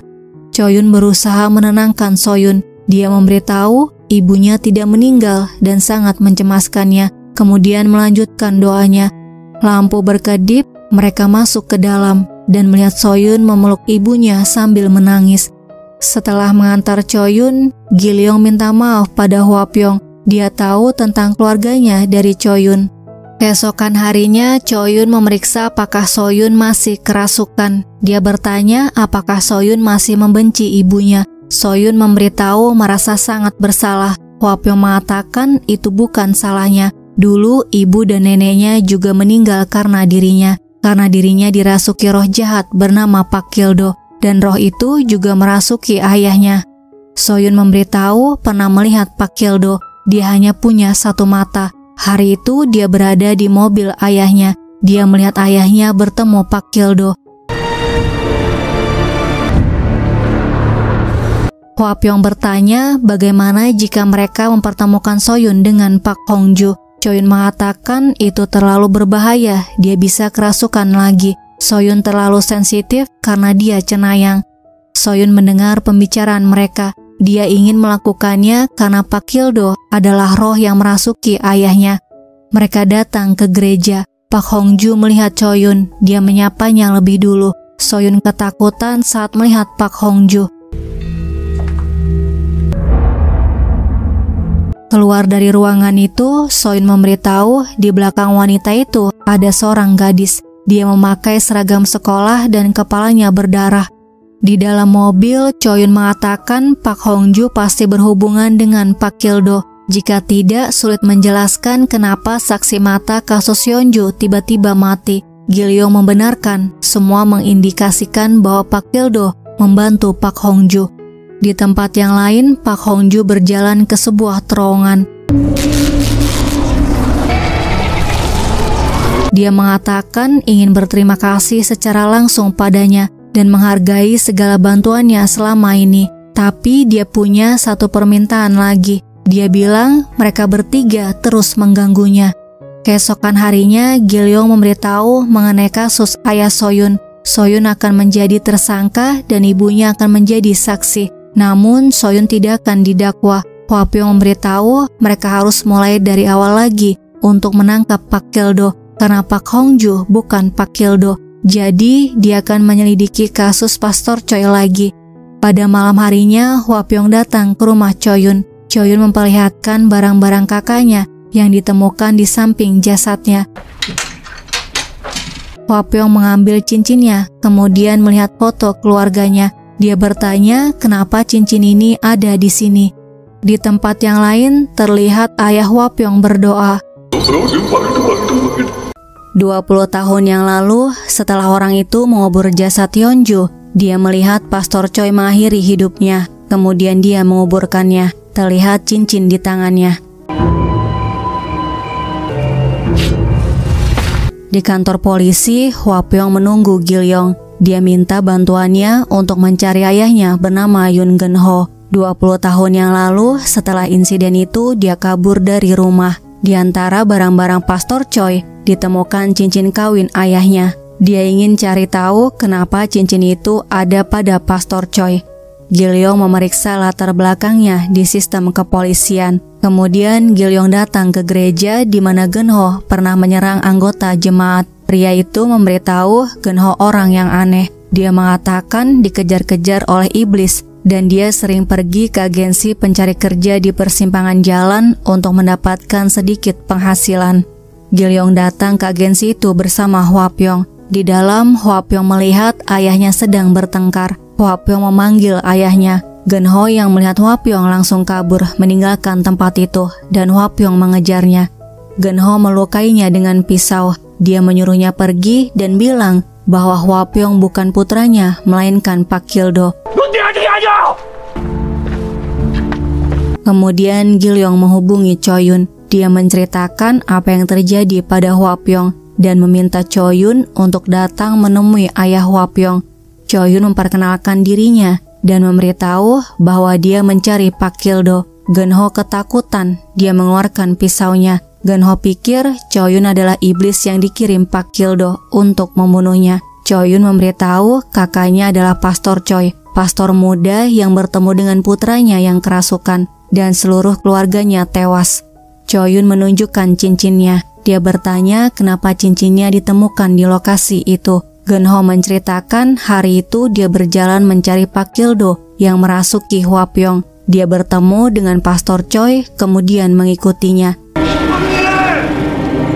Saat Pastor Choi mengakhiri hidupnya, dia berusaha menyelamatkannya dengan memegang kakinya. Namun Pastor Choi malah mematahkan jarinya. Pastor Choi mengatakan berikutnya adalah giliran dia. Kaburlah dari putranya. Lalu Pastor Choi melukai sebelah matanya dengan jari itu dan dia mati. Choyun menceritakan apa yang dia dengar dari Genho. Hwa Pyong masih tidak percaya, ayahnya masih mempercayai bahwa Pak Kildo ada di dalam tubuhnya. Betapa menyedihkannya, dia harus kabur seumur hidupnya. Dia menelantarkan ayahnya yang sudah tua dan putranya yang masih kecil. Dia juga mencoba membunuhnya 20 tahun yang lalu. Keesokan harinya, Gilyong dan Choyun datang ke rumah kakek Hwapyong. Choyun memperkenalkan dirinya sebagai adik dari Pastor Choi. Kemudian dia memberitahu sedang mencari Pak Kildo. Kakek minta maaf atas apa yang terjadi dengan keluarganya. Choyun ingin tahu apakah Pak Kildo benar-benar ada dan siapa dia.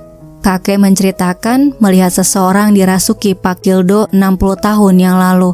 Dia tiba-tiba muncul di desa dan membunuh orang-orang. Saat orang-orang mengejarnya, dia melukai matanya sendiri dan melompat ke air. Dia tidak bisa mati padahal dia sudah berada di dalam air selama berhari-hari dan menatap orang-orang.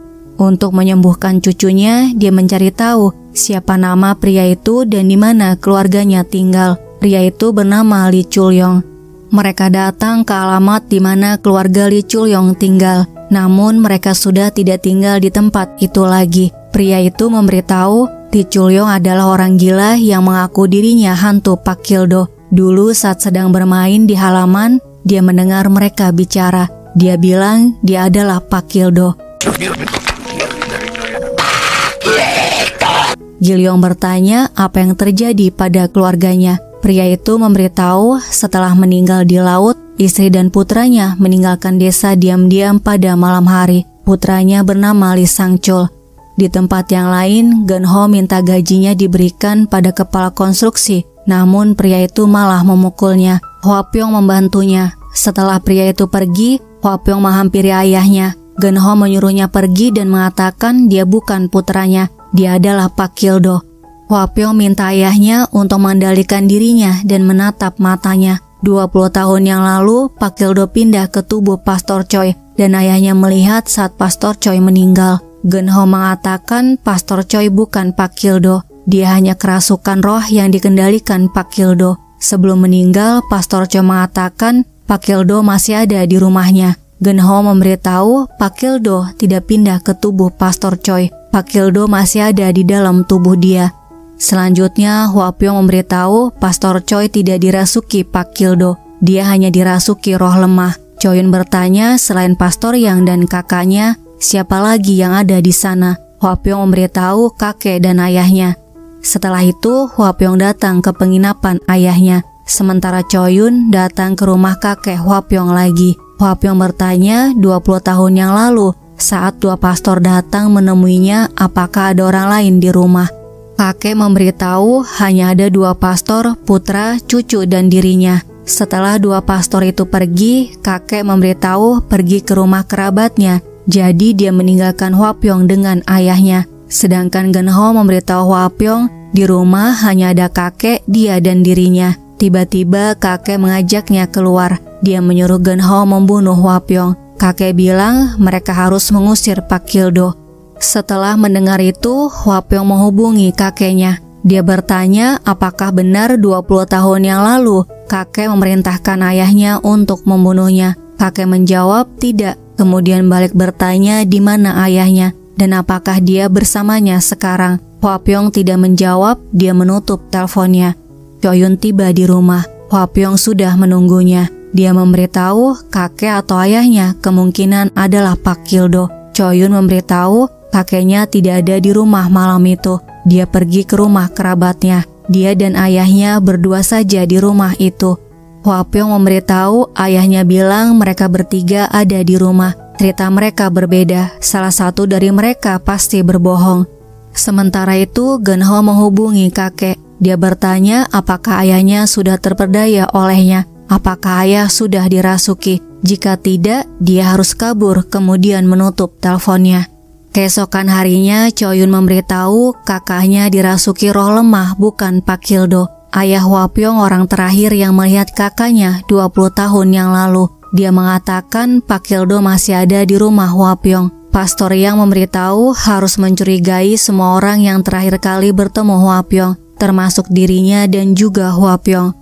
Huapyong datang ke rumah kakeknya. Dia menghubungi ponselnya, tapi ternyata kakeknya meninggalkan ponselnya di rumah. Kemudian Huapyong bertanya pada tetangganya di mana kakeknya berada. Pria itu mengatakan mungkin kakeknya pergi ke kota Sangyong. Huapyong memberitahu kakeknya tidak suka pergi jauh karena dia suka mabuk saat di bis. Pria itu mengatakan kakeknya sering pergi jauh belakangan ini untuk bertemu seseorang namun dia tidak tahu siapa itu.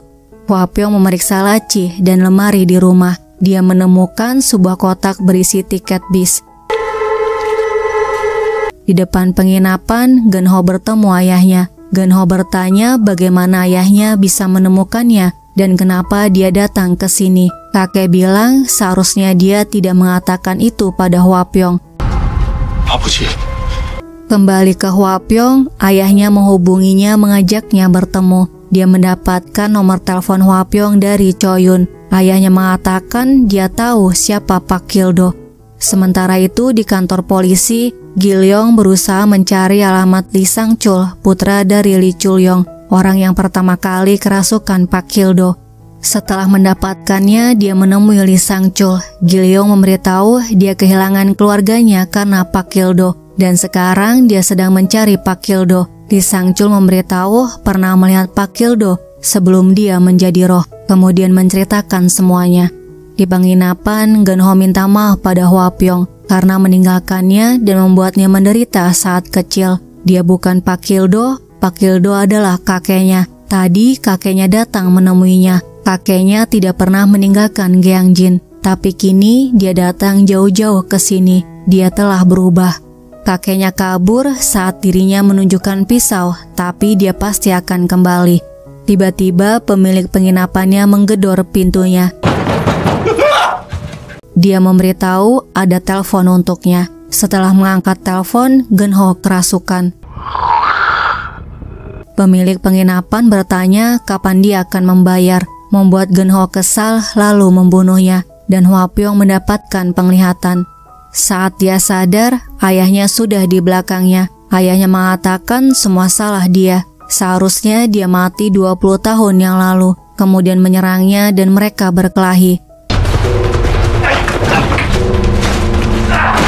Genho pergi meninggalkan Hwapyong. Hwapyong mengejarnya, tapi kehilangan jejaknya. Dia kembali ke penginapan, menemukan pemilik penginapan yang ternyata sudah meninggal.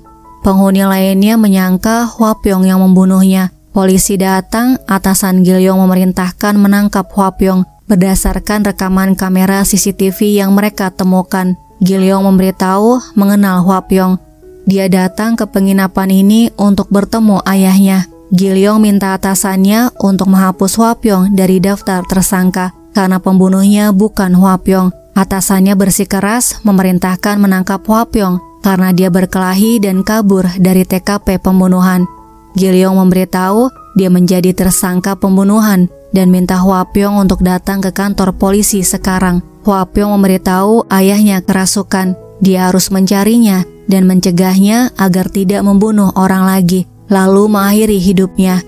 Selanjutnya, Hwapyong menemui Choyun. Dia memberitahu ayahnya kerasukan dan membunuh seseorang. Hwapyong minta Choyun menunggu di konstruksi tempat ayahnya kerja, sementara Yugwang menunggu di tempat agensi pencari kerja. Hwapyong pulang ke rumahnya, memeriksa apakah ayahnya ada di rumah. Dia terkejut melihat kakeknya ada di rumahnya. Hwapyong bertanya bagaimana kakeknya bisa sampai di sini. Kakeknya mengingatkan bahwa Hwapyong pernah memberi alamat rumahnya dan pemilik rumah membukakan pintunya. Dia kemudian menunjukkan makanan yang dia bawa untuk Hwapyong. Hwapyong bertanya kenapa kakek tidak memberitahu bertemu dengan ayahnya dan dari mana dia tahu alamat ayahnya. Kakeknya memberitahu ayahnya menelponnya. Dia memeriksa nomor teleponnya kemudian pergi ke penginapan. Kakeknya memberitahu setiap kali kakeknya menerima telepon dari orang asing, kakeknya mengunjungi orang itu. Dia berpikir mungkin itu adalah ayah Wapyong. Kakek sudah mencarinya selama lima tahun. Wapyong memberitahu ayahnya berubah setelah bertemu dengan kakek, lalu menyuruh kakeknya menutup mata kirinya dan melihat ke arahnya. Kakeknya marah karena Wapyong menyangka dia adalah Pak Kildo. Kemudian kakek menyuruh Wapyong sadar lalu memukulnya. Hwapyong keluar dari rumahnya. Gilyong mengejarnya dan Bongsang menghadangnya. Lalu Hwapyong dibawa ke kantor polisi. Setelah itu Gilyong menemui Choyun.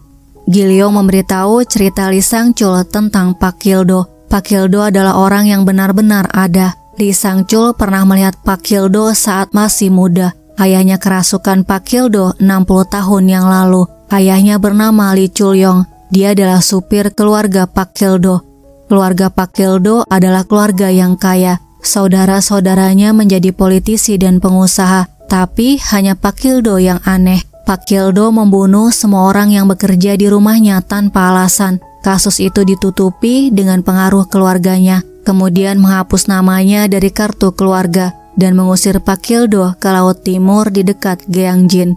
Walaupun Pak Kildo lahir sebagai manusia, dia bilang dia bukan manusia. Dia harus kembali ke sosok aslinya. Pak Kildo membunuh istri dan putranya, lalu melukai mata kanannya dan mengakhiri hidupnya untuk menjadi roh yang kuat. Lee Chul-yong menyaksikan kematiannya, kemudian kerasukan. 20 tahun kemudian, Paman Hwapyong kerasukan, dan kini dia berada di tubuh seseorang.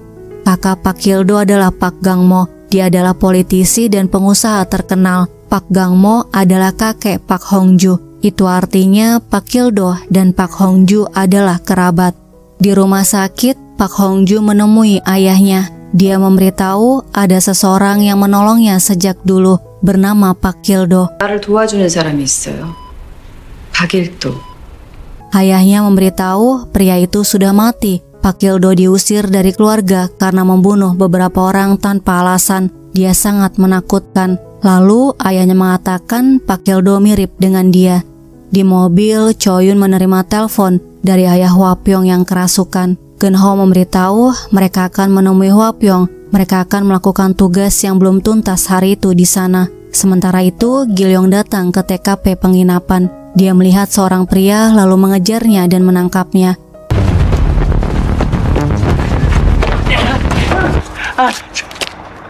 Di kantor polisi, Gilyong memberitahu pria ini adalah pencuri di TKP penginapan dan dia saksi mata pembunuhan. Pria itu mengatakan melihat Genho memukul pemilik penginapan dengan tabung pemadam kebakaran. Dia ingin melaporkannya tapi tidak jadi karena melihat kotak uang. Dia mengambil uangnya lalu kabur. Gilyo minta atasannya untuk menghapus Hwapyong dari daftar tersangka.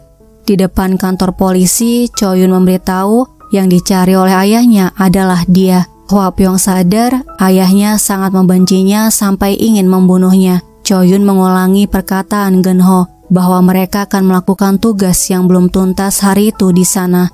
Hwapyong menghubungi ponsel kakeknya, namun dia mematikannya. Kakeknya tiba di terminal. Dia terlihat pucat karena mabuk. Tiba di rumahnya, dia melihat sepasang sepatu. Di hadapannya berdiri Genho dan kakek langsung memeluknya. Setelah itu, kakek menyediakan makanan dan minuman. Genho minum banyak air. Dia juga menggaruk lehernya hingga luka. Kakek yang melihatnya mencoba menghubungi Hwapyong. Genho mengatakan tidak perlu menghubungi Hwapyong. Dia akan segera datang, kemudian mengeluarkan pisau. Di jalan, mereka sedang menuju ke rumah kakek. Hwapyong mendapatkan penglihatan. Mereka sampai, Hwapyong sadar dan mereka langsung lari ke rumah kakek. Gilyong menghubungi ambulans. Kakek minta maaf pada Hwapyong 20 tahun yang lalu. Dia menyuruh ayahnya untuk menyakitinya karena dia masih terlalu muda. Kakek tidak mau Hwapyong menderita seperti Lee Chulyong berada di dalam air selama tiga hari. Selama 20 tahun, kakeknya menyesalinya setiap melihat Hwapyong. Hwapyong melihat ayahnya membawa tali. Mereka mengejarnya. Tiba-tiba ayahnya menghilang dan muncul di belakangnya. Hwapyong menjatuhkan cincin kawinnya. Ayahnya sadar setelah melihat cincin itu. Namun bayangan hitam mendekat. Dia menyuruh Hwapyong pergi dari tempat ini dan minta maaf atas segalanya. Kemudian dia lari. Di atas jembatan, dia mengatakan semua orang di sekitar Hwapyong akan mati. Ibu, ayah, kakek, dan neneknya. Begitu juga dengan pastor dan detektif itu. Kemudian dia melukai matanya. Hwapyong dan Choyun berusaha menyelamatkannya namun gagal. Selanjutnya, Hwapyong menjenguk kakeknya di rumah sakit. Kakeknya tidak sadarkan diri akibat pendarahan yang dialaminya. Dokter tidak tahu kapan dia akan bangun. Hwapyong memberitahu ayahnya datang untuk berpamitan. Mereka semua menemani Hwapyong saat dia mengkremasi ayahnya. Setelah mengambil abu ayahnya, Hwapyong melihat Choyun dan Gilyong. Kemudian teringat ucapan ayahnya saat kerasukan bahwa semua orang di sekitarnya akan mati termasuk Choyun dan Gilyong. Hua Pyong memberitahu ingin berhenti mencari Pak Kildo. Dia ingin hidup tenang seperti orang lain, jadi mereka tidak usah saling menelpon dan bertemu lagi. Gilyong dan Choyun memutuskan akan tetap mengejar dan menangkap Pak Kildo sampai akhir. Mereka akan mengawasi dan menyelidiki Pak Hongju karena dia memiliki hubungan dengan Pak Kildo.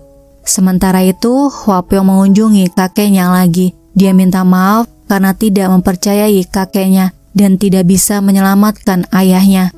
Di sebuah tempat makan, Pastor Yang memberitahu merasa khawatir jika Choyun di dekat Hua Pyong. Menurutnya, Pak Kildo adalah Hwapyong. Choyun yakin Hwapyong bukan Pak Kildo karena dia membencinya dan terus mengejarnya. Pastor yang mengatakan mungkin Hwapyong tidak mengenali Pak Kildo di dalam dirinya. Dia pernah mendengar keluarga Hwapyong melakukan upacara pengusiran setan. Upacara itu mungkin menekan kekuatan Pak Kildo. Saat orang-orang yang dirasuki Pak Kildo melakukan pembunuhan, hanya Hwapyong yang bisa merasakannya. Choyun teringat ucapan Yongsu dan Yunhee bahwa Hwa Pyong sama dengan mereka. Di rumah sakit, tiba-tiba Hwa Pyong merasakan mata kanannya sakit. Kemudian dia melihat Pak Kildo. Dan semuanya kembali normal. Hwa Pyong bingung dengan apa yang terjadi.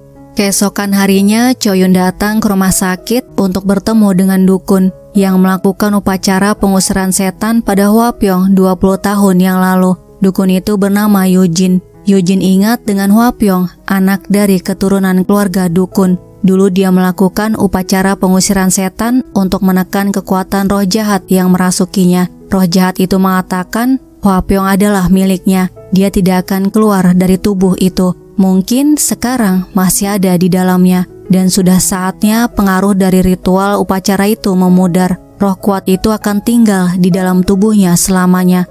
Di depan rumahnya, Wapyong merasakan mata kanannya sakit lagi. Kemudian dia melihat ayahnya dan mengikutinya.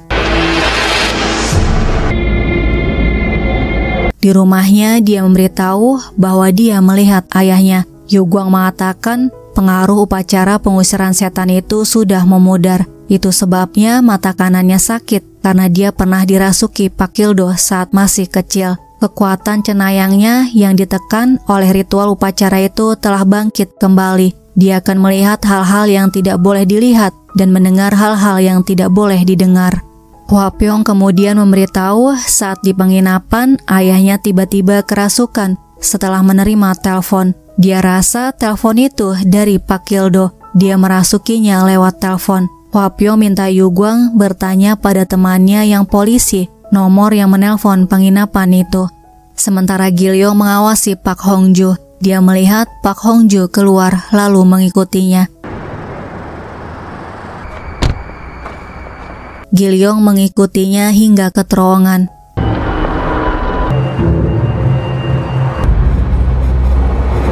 Keesokan harinya, Pak Hongju memanggil atasan Gilyong. Dia memberitahu Gilyong dan Hwapyong sering bertemu. Pak Hongju menunjukkan foto mereka. Bawahannya menyelidikinya karena Hwapyong berbahaya. Kenapa seorang detektif berkumpul dengan pria berbahaya? Mereka menjawab akan segera memeriksanya. Pak Hongju marah, dia minta mereka untuk cepat bertindak. Di kantor polisi, Bongsang bertanya apa yang sedang dia lakukan bersama Hwapyong karena atasan mereka marah padanya. Gileong memberitahu sedang menyelidiki suatu kasus. Bongsang bertanya kasus apa. Gileong akhirnya memberitahu sedang mengejar Pak Kildo. Bongsang ingat nama Pak Kildo yang diteriaki Yongsu saat dia melukai matanya di ruang interogasi. Lalu dia bertanya siapa Pak Kildo. Gileong memberitahu dia roh jahat yang merasuki orang dan dia berkaitan dengan Pak Hongju. Bongsang tidak percaya, dia menyuruh Gileong sadar Menurutnya, Huapyong adalah roh jahat dan dia dirasuki olehnya. Gilyong minta Bongsang melupakan apa yang dikatakannya, kemudian pergi. Setelah itu, Gilyong bertemu Choyun. Choyun memberitahu pastor yang curiga Huapyong adalah Pak Kildo. Huapyong mungkin tidak menyadari bahwa dia adalah Pak Kildo. Menurut Gilyong, Huapyong bukan Pak Kildo karena dia mengejar Pak Kildo bersama mereka selama ini. Baginya, pastor yang lebih mencurigakan daripada Huapyong. Dia mengikuti Pak Hongju Sangat aneh, Pak Hongju menemui Pastor Yang di tempat itu dan selarut itu. Paling tidak, Pastor Yang pasti mengenal Pak Hildo. Di gedung apartemennya, Gilyong melihat seorang pria mencurigakan di depan pintu apartemennya. Saat berpapasan, Gilyong melihat wajahnya. Dia adalah bawahan Pak Hongju. Pria itu mengayunkan pisau ke arahnya, kemudian kabur. Bongsang kebetulan mampir ke apartemen Gilyong. Dia melihat Gilyong mengejar pria itu, kemudian dia menghadangnya. Naasnya, Bongsang terluka di bagian perut. Di kantor Pak Hongju, dia marah pada bawahannya karena melukai seorang detektif padahal dia hanya menyuruhnya untuk mengawasinya. Kemudian Pak Hongju menyuruhnya sembunyi karena mereka sudah melihat wajahnya. Setelah bawahannya pergi, dia menghubungi seseorang, memberitahu ada masalah yang harus diselesaikan. Keesokan harinya, Hua Pyong mendapatkan nomor yang menghubungi ayahnya di penginapan. Dia mencoba menelponnya berkali-kali. Saat diangkat, Hua Pyong bertanya dia bicara dengan siapa. Pastor yang memberitahu gereja Dongdo. Hua Pyong langsung menutupnya. Dia tahu itu adalah gereja Pastor Yang. Sementara itu di rumah sakit, seseorang datang mengunjungi Bongsang. Dia bertanya kenapa datang ke sini. Di gereja Dongdo, Hua Pyong tiba-tiba melihat lorong rumah sakit. Setelah itu, dia menemui pastor yang Hua Pyong bertanya kenapa dia menelpon ayahnya di penginapan di hari ayahnya kerasukan, pastor yang mengaku bahwa dia menelpon ayahnya atas permintaan kakeknya karena ayahnya bilang melihat Pak Kildo. Begitu melihat kakeknya, kakeknya pikir hanya dirinya yang percaya Pak Kildo benar-benar ada. Mereka tidak bicara lama. Begitu ayahnya mendengar suaranya, dia menutup teleponnya. Hua Pyong memberitahu ayahnya kerasukan setelah bicara dengan dia di telepon. Kemudian Hua Pyong melihat salib di ruangan pastor yang terbalik. Saat akan menyentuhnya, tiba-tiba mata kanannya sakit, lalu dia buru-buru pergi. Pada malam harinya, Gilyong bertemu Bongsang. Dia memberitahu ada yang menjenguknya di rumah sakit. Dia bilang dia tahu roh bernama Pak Kildo dan dia sudah pernah dirasuki. Bongsang mengajak Gilyong bertemu dengan orang itu. Di mobil, Bongsang minta diambilkan minum. Dia mengatakan terus merasa haus. Di tempat yang lain, Hua Pyong sedang menunggu pastor yang Choyun mendatanginya. Dia bertanya apakah Hua Pyong bisa melihat dengan mata kanannya. Choyun minta Hua Pyong membuktikan bahwa dia bukan Pak Kildo. Hua Pyong menutup mata kirinya, kemudian mengatakan dia bisa melihat mata dan wajahnya dengan jelas. Tiba-tiba Hua Pyong mendapatkan penglihatan. Setelah sadar, dia langsung menghubungi Gilyong. Bongsang bertanya apakah Hua Pyong menghubunginya. Gilyong mengangkatnya. Dia memberitahu lokasi mereka berada. Hua Pyong memberitahu Gilyong dalam bahaya. Setelah sadar, Gilyong buru-buru lari karena Bongsang ingin membunuhnya. Gilyong masuk ke sebuah gedung dan berhasil membuka salah satu pintunya. Sementara Hua Pyong dan Choyun menemukan mobilnya kemudian menuju ke gedung itu. Bongsang berusaha membuka pintunya. Dia kemudian masuk melalui jendela dan melukai Gilyong. Kemudian dia melemparnya. Gilyong berhasil berpegangan pada tali. Bongsang melihat Hwapyong dan Choyun datang. Saat bertemu, Bongsang mengatakan semua ini salah dia. Gilyong akan mati, kemudian kabur. Choyun mengejarnya, sementara Hua Pyong menyelamatkan Gilyong dan membawanya ke mobil. Choyun memberitahu tidak berhasil menangkapnya. Tiba-tiba Bongsang menyerangnya. Hua Pyong memborgolnya. Selanjutnya, Choyun melakukan ritual pengusiran setan. Dia terus berdoa sementara Bongsang berusaha mempengaruhinya agar berhenti. Hua Pyong bertanya kenapa doanya tidak bekerja. Bongsang mengatakan mereka sudah memperingatkannya. Saat dia bertemu dengan mereka untuk kali kedua, dia akan mendapatkan luka tusuk di sekujur tubuhnya. Daging dan darahnya akan membusuk. Begitu pula jiwanya. Jika dia bertemu dengan mereka untuk kali ketiga, Choyun langsung menutup mulutnya. Dia kemudian memberitahu doanya tidak manjur. Choyun minta Hwapyo membantunya mencari air. Setelah itu, Choyun mendoakan airnya. dan mereka memasukkan Bongsang ke dalam air. Akhirnya Bongsang berhasil diselamatkan. Di rumah sakit, Bongsang memberitahu istrinya dia tidak ingat dengan apa yang terjadi padanya semalam. Sementara Gilyong mengucapkan terima kasih pada Hwapyong dan Choyun. Setelah itu, Choyun memeriksa dadanya dan terlihat bekas luka tusukan. Keesokan harinya, Hwapyong mengaku sebagai detektif. Dia minta mereka untuk menunjukkan rekaman CCTV lorong kamar Bongsang. Namun ternyata rekaman videonya sudah dihapus. Gilyong melakukan hal yang sama. Dia bertemu dengan Hwa Pyong. Gilyong yakin orang yang mengunjungi Bongsang hari itu adalah Pak Kildo, yaitu Pastor Yang. Dia kemudian memberitahu Pastor Yang membantu Pak Hongju. Hwa Pyong memberitahu pada hari ayahnya kerasukan, Pastor Yang menelpon ayahnya. Kemudian Hua Pyong memberitahu melihat apa yang dilihat Pak Kildo. Pada malam harinya, Choyun datang ke rumah Yu Guang. Choyun bertanya apakah belakangan ini Hua Pyong mengatakan sesuatu seperti matanya buta. Yu Guang membenarkan, Hua Pyong bilang matanya sakit. Choyun mengatakan mungkin mata kanannya sakit karena Pak Kildo. Yu Guang mengatakan tidak mungkin Hua Pyong adalah Pak Kildo. Saat kecil, dia menjalani upacara pengusiran setan untuk menekan kekuatan setan. Matanya sakit karena efek upacara itu telah memudar. Yuguang akan membuktikan bahwa Hwapyong bukan Pak Kildo. Yoyun tidak percaya, dia buru-buru pergi. Di rumah Hwapyong, dia merasakan mata kanannya sakit. Kemudian melihat Choyun di hadapannya. Dia berusaha melakukan ritual pengusiran setan pada Hwapyong, namun tidak ada reaksi apa pun. Hwapyo minta Choyun untuk sadar. Orang yang ditemui Pak Hongju dan orang yang merasuki ayahnya lewat telepon adalah Pastor Yang, orang yang sangat dia percayai.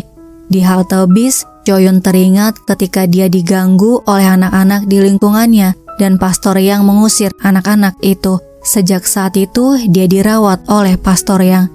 Choyun datang ke gereja Pastor Yang, namun dia tidak ada. Sementara Hwa Pyong datang ke rumah Yu Guang tapi dia juga tidak ada. Yugang memberitahu sedang keluar kota. Dia minta Hua Pyong untuk menunggunya di dalam rumah. Joyun masuk ke ruangan Pastor Yang dan memeriksa isi lacinya. Yuguang sudah sampai di rumah kakek Hua Pyong. Dia berdoa di dalam dan di sekitar rumahnya. Tiba-tiba dia menggali tanahnya. Setelah sadar, Pak Kildo menariknya.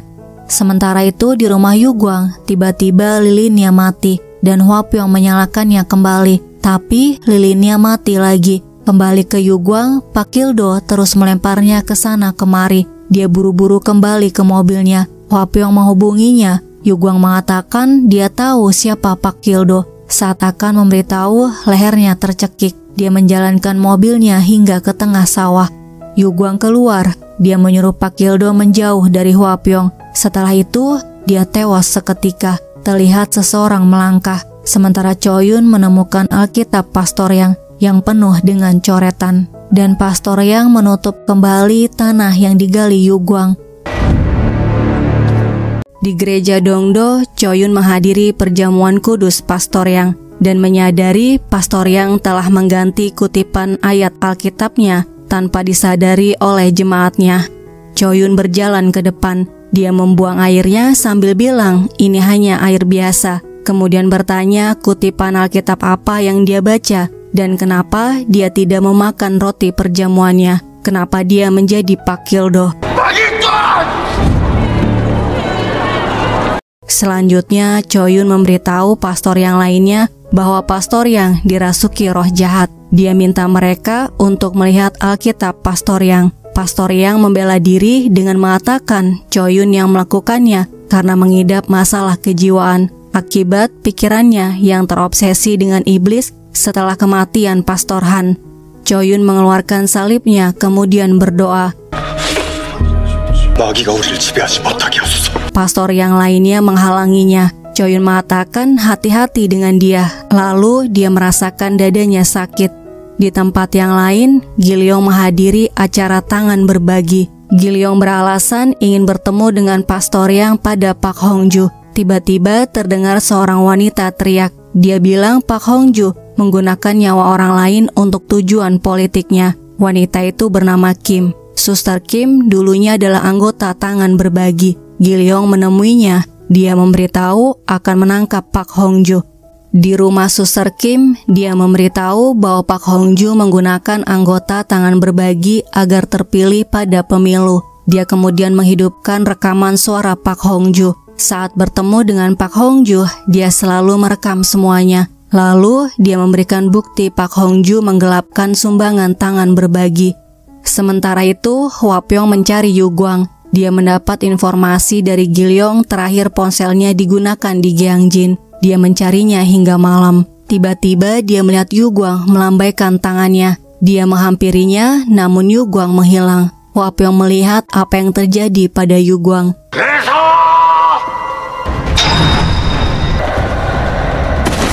Gilyong menelponnya, Hua Pyong memberitahu melihat Yu Guang meninggal. Gilyong mengajaknya bertemu dan Choyun memberitahu Pastor Yang adalah Pak Gildo.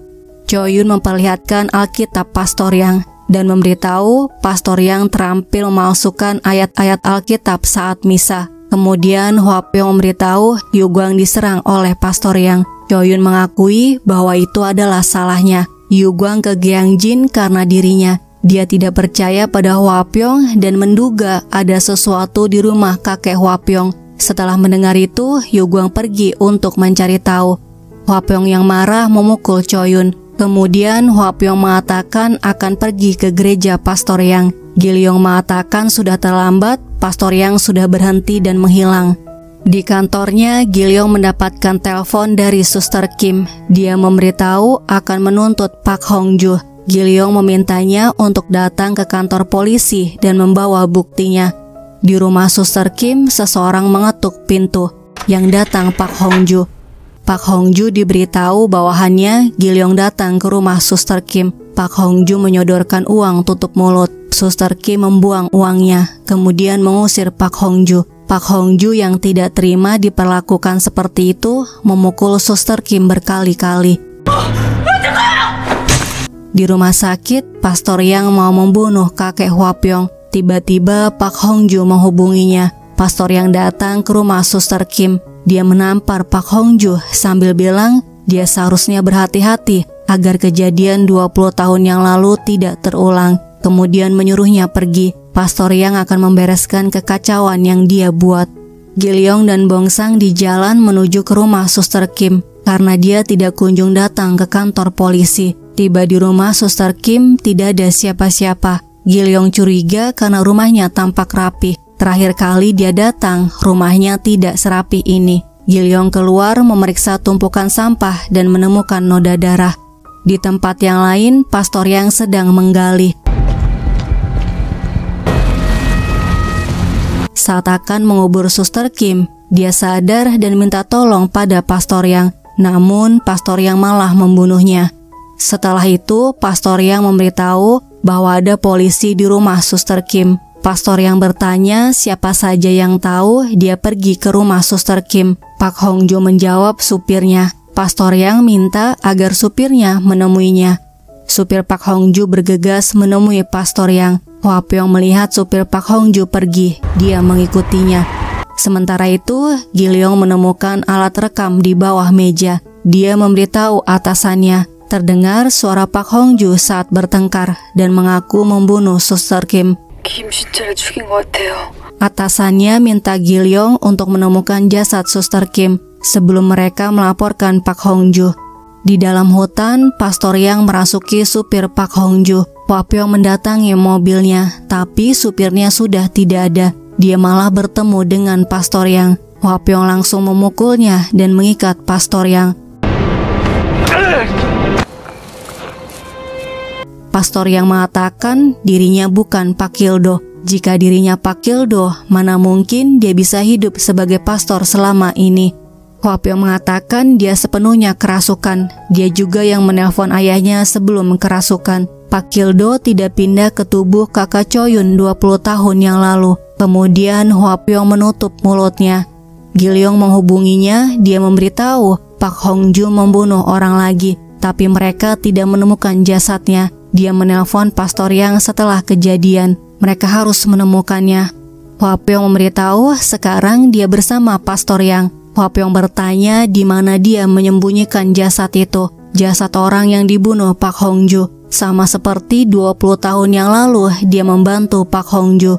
Pastor yang mengatakan domba yang hilang akan pulang kembali. Dia pasti ada di rumah.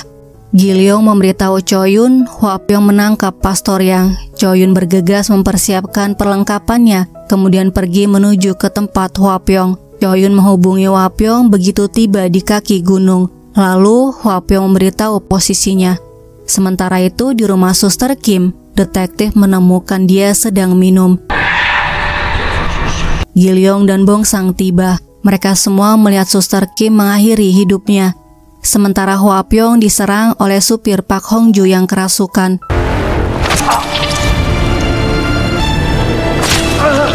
Saat Choyun tiba, Hua Pyong memintanya untuk mengejar Pastor Yang. Di jembatan, Choyun bertemu dengan supir Pak Hongju. Dia mengeluarkan salibnya, kemudian berdoa. Tiba-tiba dia merasakan dadanya sakit. Supir Pak Hongju tertawa, kemudian mengakhiri hidupnya.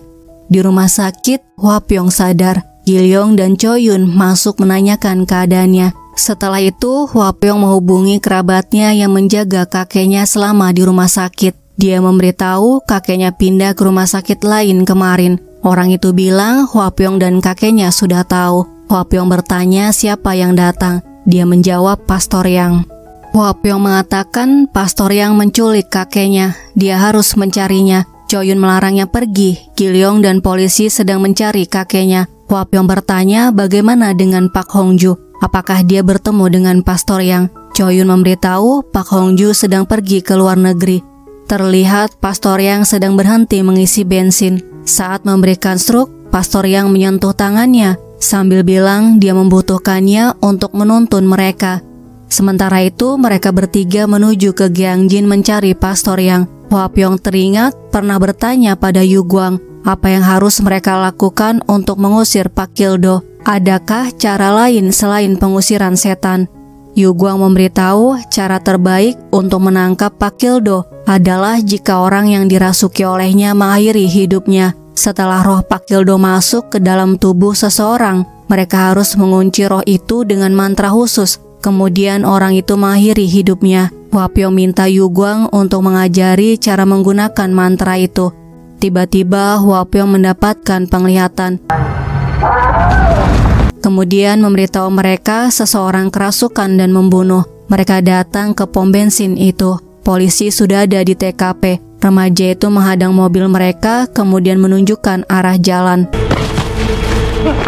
Wapyo mengatakan dia ingin mereka pergi ke sana ke tempat Pak Kildo. Di pinggir jalan sebuah mobil mogok, supirnya sedang memperbaikinya sedangkan penumpangnya asik karaoke dan tertawa. Pastor yang berhenti merasuki supir itu.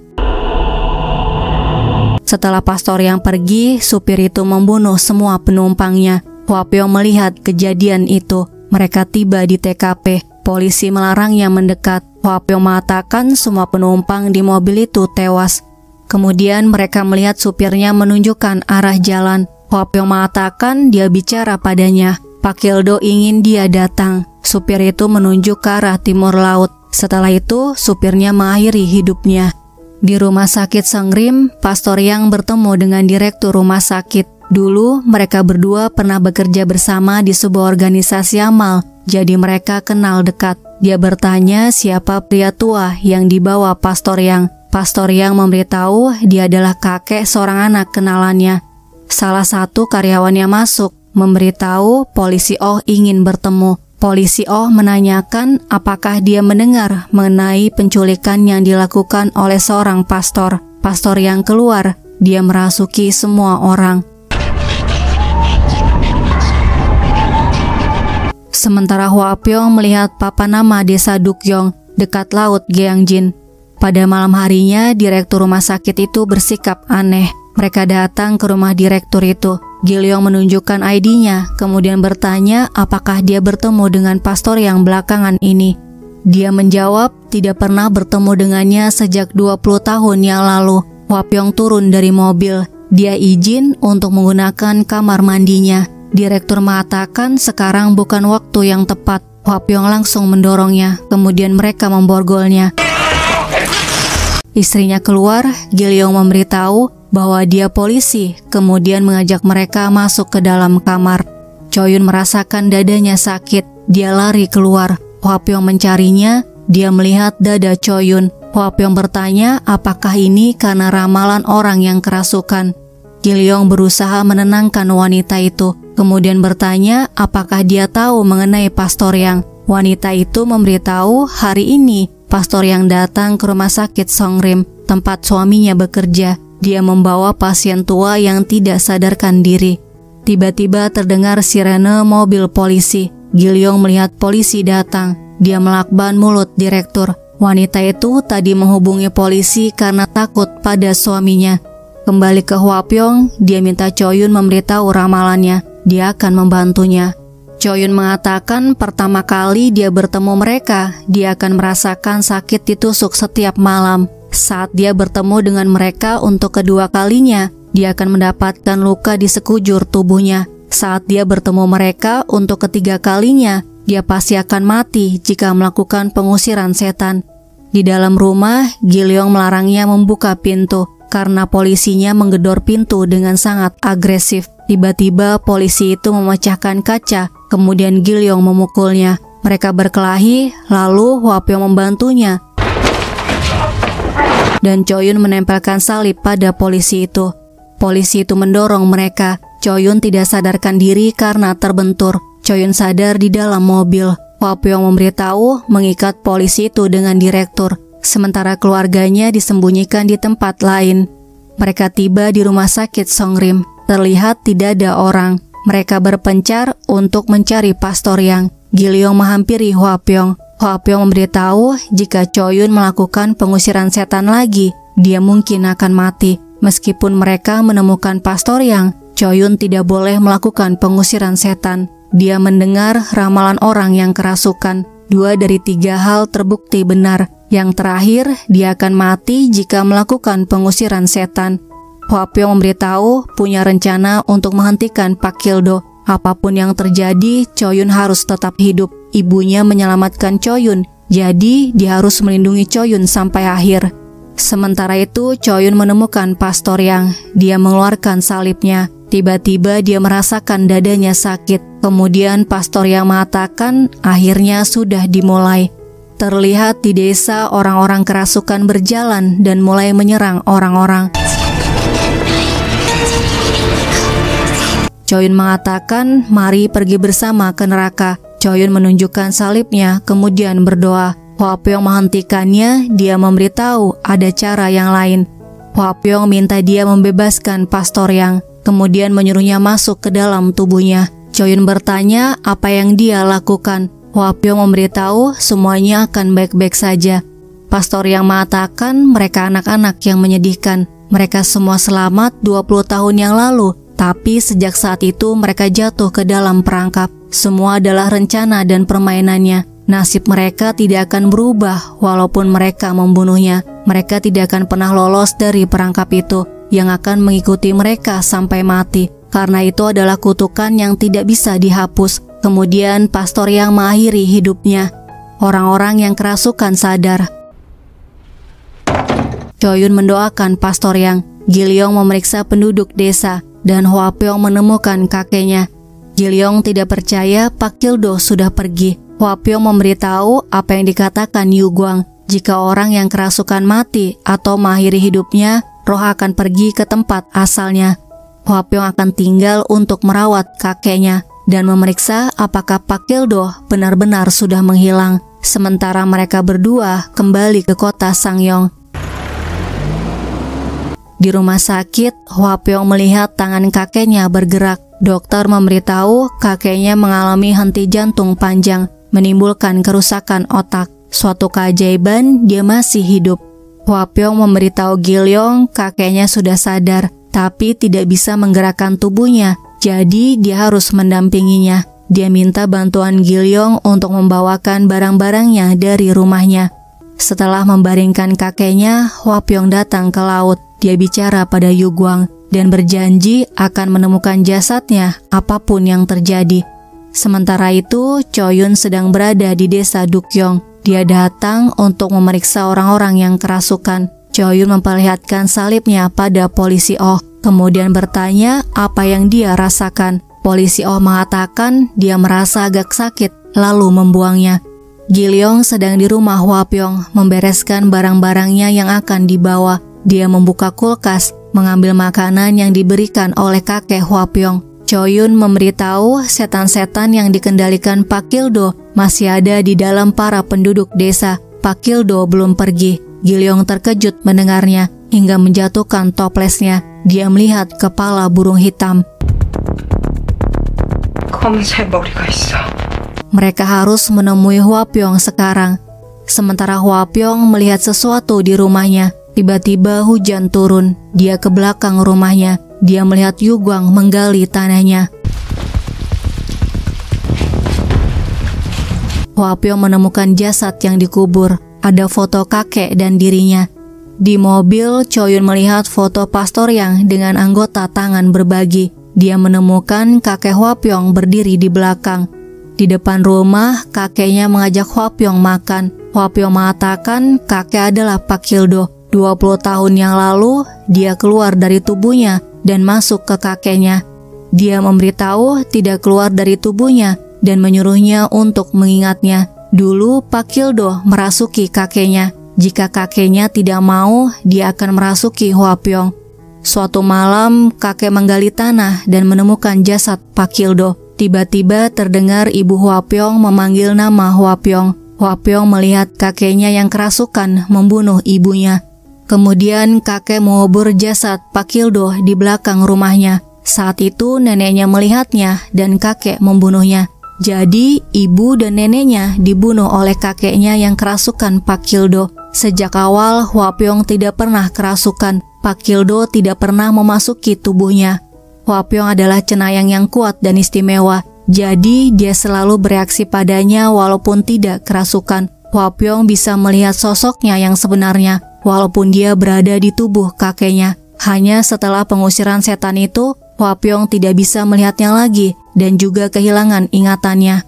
Huapyong bertanya bagaimana dengan Pastor Yang. Kakek memberitahu menemui Pastor Yang setelah kerasukan. Pastor Yang adalah putra kedua dari Li Chulyong, orang yang pertama kali kerasukan. Pak Kildo menganggap Pastor Yang sebagai putranya. Iman Pastor Yang goyah, dia menyerah dan bersedia melayaninya. Pak Kildo tidak merasuki Pastor Yang dan semua orang-orang di tangan berbagi Pak Kildo yang merasukinya dalam wujud kakek. Kemudian Pak Kildo memberitahu memperlihatkan dirinya pada Pak Hongju dan dia menyukainya. Begitu Pak Hongju berkuasa, dia akan mengubah dunia ini menjadi mimpi buruk. Hua Pyong bertanya kenapa dia membunuh ayahnya. Pak Kildo mengatakan harus membuat Hua Pyong sedih dan frustasi agar dia bisa masuk ke dalam tubuhnya yang mempunyai kekuatan yang dahsyat dan tidak terbatas. Dia sudah menunggu selama 20 tahun agar Hua Pyong sedikit demi sedikit retak karena kesedihan dan rasa frustasinya. Kemudian Pak Kildo melukai tubuh kakeknya agar Hua Pyong merasakan keputusasaan dan semakin retak. Hua Pyong minta Pak Kildo masuk ke tubuhnya dan jangan mengganggu kakeknya. Pak Kildo mengatakan itu yang dia inginkan. Dia sudah menunggu selama 20 tahun untuk mendengarnya. Sementara itu, Choyun memberitahu Gilyong sudah sampai di rumah Hwapyong. Terlihat Hwapyong menulis mantra khusus sambil terus membaca mantra itu. Choyun memanggil Hwapyong. Hwapyong melarangnya mendekat karena Pak Kildo ada di dalam tubuhnya. Dia memberitahu menulis mantra di tubuhnya yang diajarkan Yu Guang. Mantra ini akan mengurung Pak Kildo. Choyun terkejut, Hwapyong akan mati bersama Pak Kildo. Hwapyong mengatakan hanya ini pilihan yang tersisa. Dia harus mengakhirinya, kemudian minta maaf pada Choyun atas apa yang terjadi pada keluarganya. Hwapyong juga minta Choyun untuk menyampaikan permintaan maafnya pada Gilyong dan merawat kakeknya. Kemudian dia mengakhiri hidupnya. Namun Pak Kildo berusaha menahannya. Choyun berusaha menyelamatkan Pyong, tapi dia bukan tandingan Pak Kildo. Pyong sadar dia berusaha melawan Pak Kildo di dalam dirinya. Pyong melepaskan Choyun, kemudian dia lari. Setelah Choyun sadar, dia mengejarnya. Gilyong melihat Hua Pyong lari. Dia mengejarnya hingga ke laut. Dan membawanya ke tepi. Pak Kildo mengatakan dia senang ada di tubuh Hua Pyong yang penuh energi. Saat Pak Kildo mau membunuh Gilyong, Choyun menghalanginya. Dia menempelkan salib ke tubuh Hua Pyong dan mulai berdoa. Dia memohon pada Tuhan agar melindungi Hua Pyong. Pak Kildo mengatakan jika dia melakukan ini, dia juga akan mati. Tubuhnya akan hancur berkeping-keping. Pembuluh darahnya akan pecah dan dia akan muntah darah. Choyun terus berdoa. Dia minta Pak Kildo untuk meninggalkan tubuh Hua Pyong. Pak Kildo malah tertawa. Dia memberitahu namanya sekarang bukan Pak Kildo, tapi Hua Pyong. Gilyong memohon agar Hua Pyong sadar. Dia mengatakan yang berdiri di hadapannya adalah Choyun. Hua Pyong sadar, dia menjatuhkan Choyun. Kemudian melukai dirinya dan tenggelam.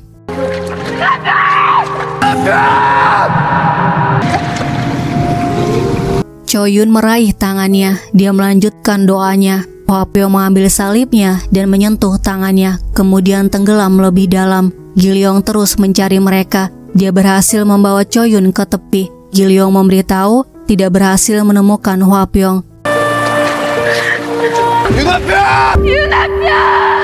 Beberapa hari kemudian jasad Yu Guang ditemukan. Di dekat jasadnya ditemukan sepatu Hua Pyong.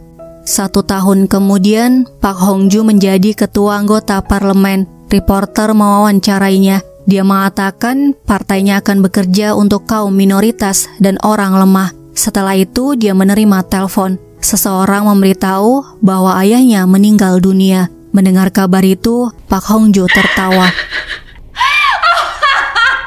Sementara itu, Gilyong dan Choyun datang ke rumah kakek untuk memperingati satu tahun kematian Hua Pyong. Setelah berdoa, Choyun menanyakan keadaan kakek. Kerabatnya memberitahu kakek sepanjang hari hanya menatap jalan, menunggu anak dan cucunya datang. Kemudian kerabat Hua Pyong memberitahu tidak perlu mengirim uang pada mereka lagi karena mereka sudah menerima bantuan dari orang lain. Sebuah kelompok amal selalu mengirimi mereka uang, pakaian, dan beras. Mereka mencari informasi siapa yang mengirim bantuannya. Choyun bertanya pada seorang pria apakah dia yang mengirim paket bantuan untuk Muil kakek Hwapyong yang tinggal di Gyeongjin. Pria itu membenarkan dia disuruh seorang pria mengirimkan paket itu. Setahun yang lalu, dia pergi memancing dan menolong pria itu yang nyaris tenggelam di laut. Pria itu tinggal di lingkungan ini seorang diri. Dia bilang tidak bisa kembali ke rumahnya karena dia belum yakin. Choyun dan Gilyong tiba di depan rumah itu. Mereka melihat Hwa Pyong keluar. Drama ini berakhir ketika mereka menatapnya dengan mata berkaca-kaca. Guys, terima kasih sudah melihat video ini. Sampai jumpa di video selanjutnya.